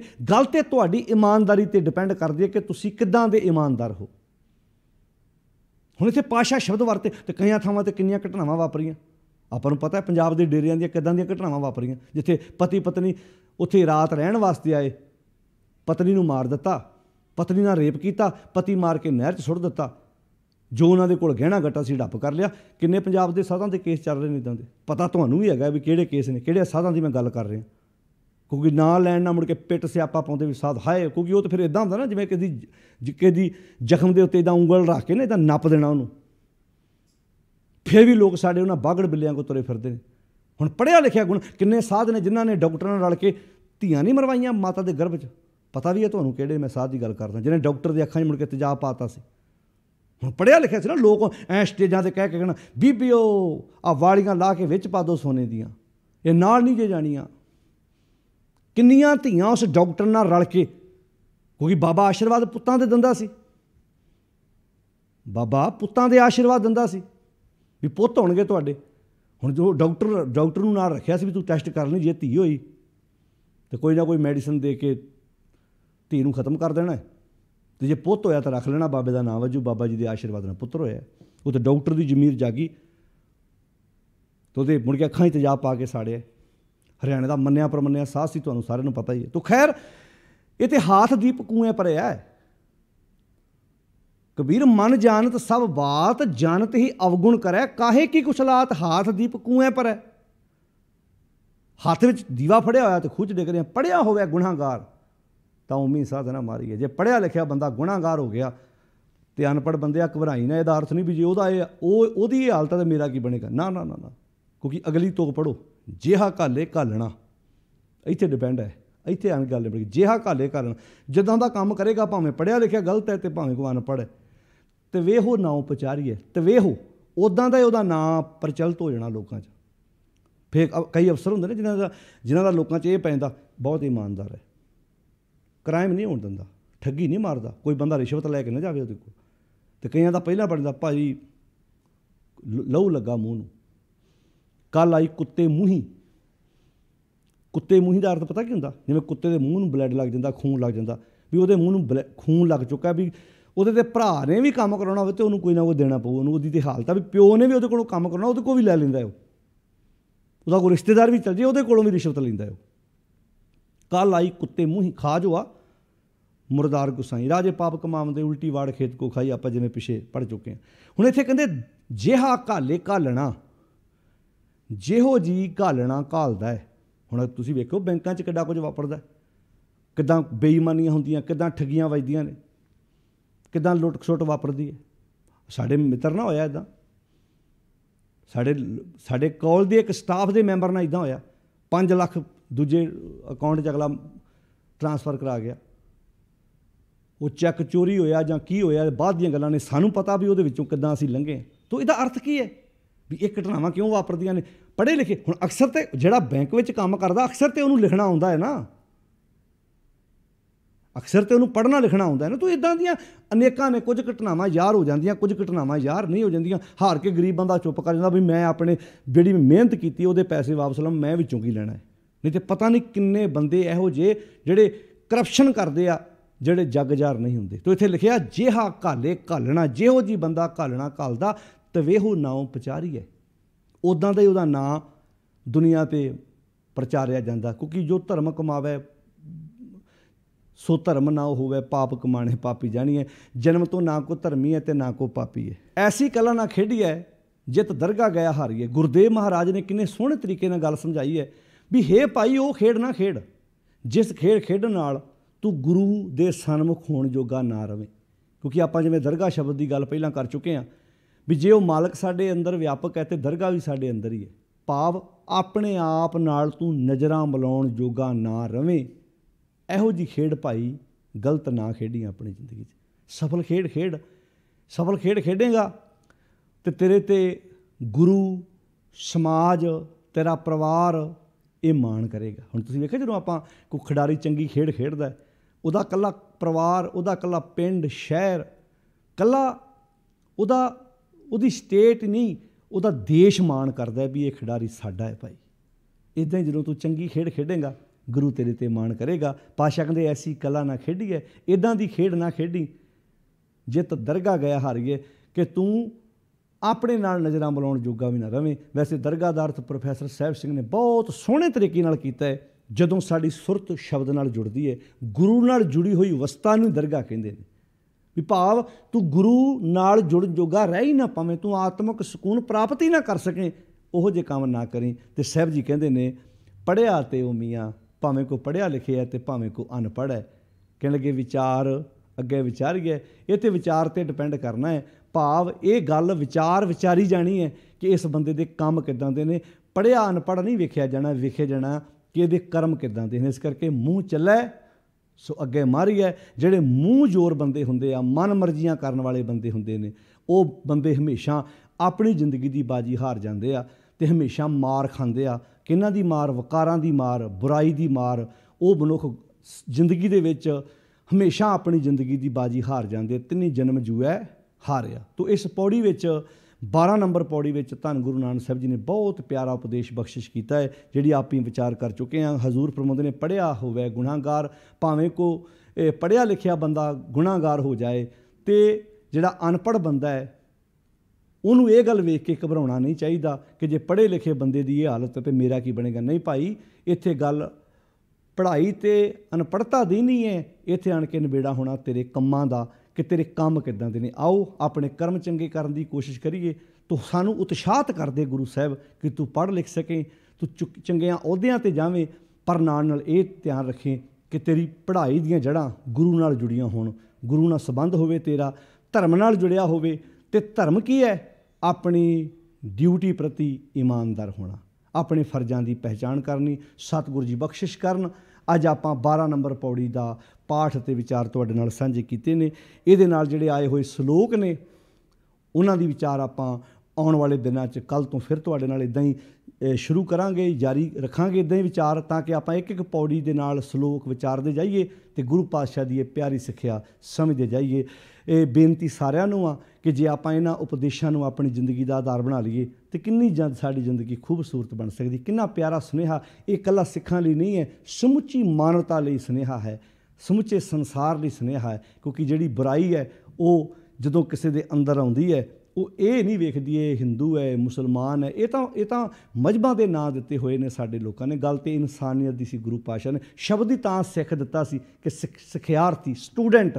ਤੇ ਸਟੂਡੈਂਟ ਆਪਾਂ ਇੰਜ ਕਹਿ ਸਕਦੇ ਹਾਂ ਵੀ ਸਟੂਡੈਂਟ ਜਿਹੜਾ ਹੁੰਦਾ ਹੈ ਉਹਦਾ ਕੋਈ ਮਜਬ ਨਹੀਂ ਹੁੰਦਾ, ਉਹ ਤੇ ਸਮੁੱਚੇ ਮਾਨਵਤਾ ਦੀ ਆਪਣੀ ਗੱਲ ਹੁੰਦੀ ਹੈ। ਤਾਂ ਹੀ ਤੁਸੀਂ ਵੇਖੋ, ਗੁਰੂ ਪਾਤਸ਼ਾਹ ਦੀ ਇਸ ਸਿੱਖਿਆ ਨੂੰ ਲੈਣ ਵਾਲਾ ਭਾਵੇਂ ਕੋਈ ਹਿੰਦੂ ਪਰਿਵਾਰ ਨਾਲ ਸੰਬੰਧ ਰੱਖਦਾ ਸੀ, ਚਾਹੇ ਇਸਲਾਮ ਨਾਲ ਸੰਬੰਧ ਰੱਖਦਾ ਸੀ, ਉਹ ਐ ਤੜਾ ਤਾੜੇ ਸਕੂਲ ਵਿੱਚ ਦਾਖਲਾ ਲੈਂਦਾ ਗਿਆ, ਕਿਉਂਕਿ ਗੁਰੂ ਪਾਤਸ਼ਾਹ ਜੀ ਨੇ ਸਾਰੀਆਂ ਹੱਦਾਂ ਤੋਂ ਤੋੜਦਿਆਂ ਹੋਇਆਂ ਸਮੁੱਚੀ ਮਾਨਵਤਾ ਦੀ ਗੱਲ ਕੀਤੀ ਹੈ। ਤਾਂ ਹੀ ਆਖਿਆ ਸੀ ਭਾਈ ਗੁਰਦਾਸ ਜੀ ਨੇ, ਜਹਰ ਪੀਰ, ਜਗਤ ਗੁਰ ਬਾਬਾ। ਇਹ ਜਗਤ ਦਾ ਬਾਬਾ ਤਾਂ ਆਖਿਆ ਸੀ, ਬਾਬੇ ਨੇ ਮਨ ਦੀ ਗੱਲ ਕੀਤੀ ਹੈ ਤੇ ਮਨ ਦੁਨੀਆ ਦੇ ਹਰ ਇਨਸਾਨ ਦੇ ਕੋਲ ਹੈ। ਜਿਹਦੇ ਕੋਲ ਵੀ ਮਨ ਹੈ, ਸਾਡਾ ਬਾਬਾ ਉਹਦਾ ਹੀ ਕੁਝ ਨਾ ਕੁਝ ਲੱਗਦਾ ਹੈ। ਆਓ ਆਪਣੇ ਗੁਰੂ ਦੇ ਇਹਨਾਂ ਪਿਆਰੇ ਉਪਦੇਸ਼ਾਂ ਨੂੰ ਆਪਣੀ ਜ਼ਿੰਦਗੀ ਦਾ ਆਧਾਰ ਬਣਾਈਏ। ਸਾਰੀ ਸੰਗਤ ਦਾ ਧੰਨਵਾਦ ਜੀ, ਜੋ ਤੁਸੀਂ ਸਮਾਂ ਕੱਢ ਕੇ, ਵਕਤ ਕੱਢ ਕੇ ਆਪਣੇ ਪਰਿਵਾਰਾਂ ਸਮੇਤ, ਆਪਣੇ ਬੱਚਿਆਂ ਸਮੇਤ ਗੁਰੂ ਦੀ ਵਿਚਾਰ ਨੂੰ ਧਿਆਨ ਨਾਲ ਸੁਣਦੇ ਹੋ, ਪੜ੍ਹਦੇ ਜਾਈਏ ਤੇ ਗੁਰੂ ਪਾਤਸ਼ਾਹ ਦੀ ਸਿੱਖਿਆ ਨੂੰ ਆਪਣੀ ਜ਼ਿੰਦਗੀ ਦਾ ਆਧਾਰ ਬਣਾਉਂਦੇ ਜਾਈਏ। ਸਾਰਿਆਂ ਦਾ ਧੰਨਵਾਦ। ਵਾਹਿਗੁਰੂ ਜੀ ਕਾ ਖਾਲਸਾ, ਵਾਹਿਗੁਰੂ ਜੀ ਕੀ ਫਤਿਹ।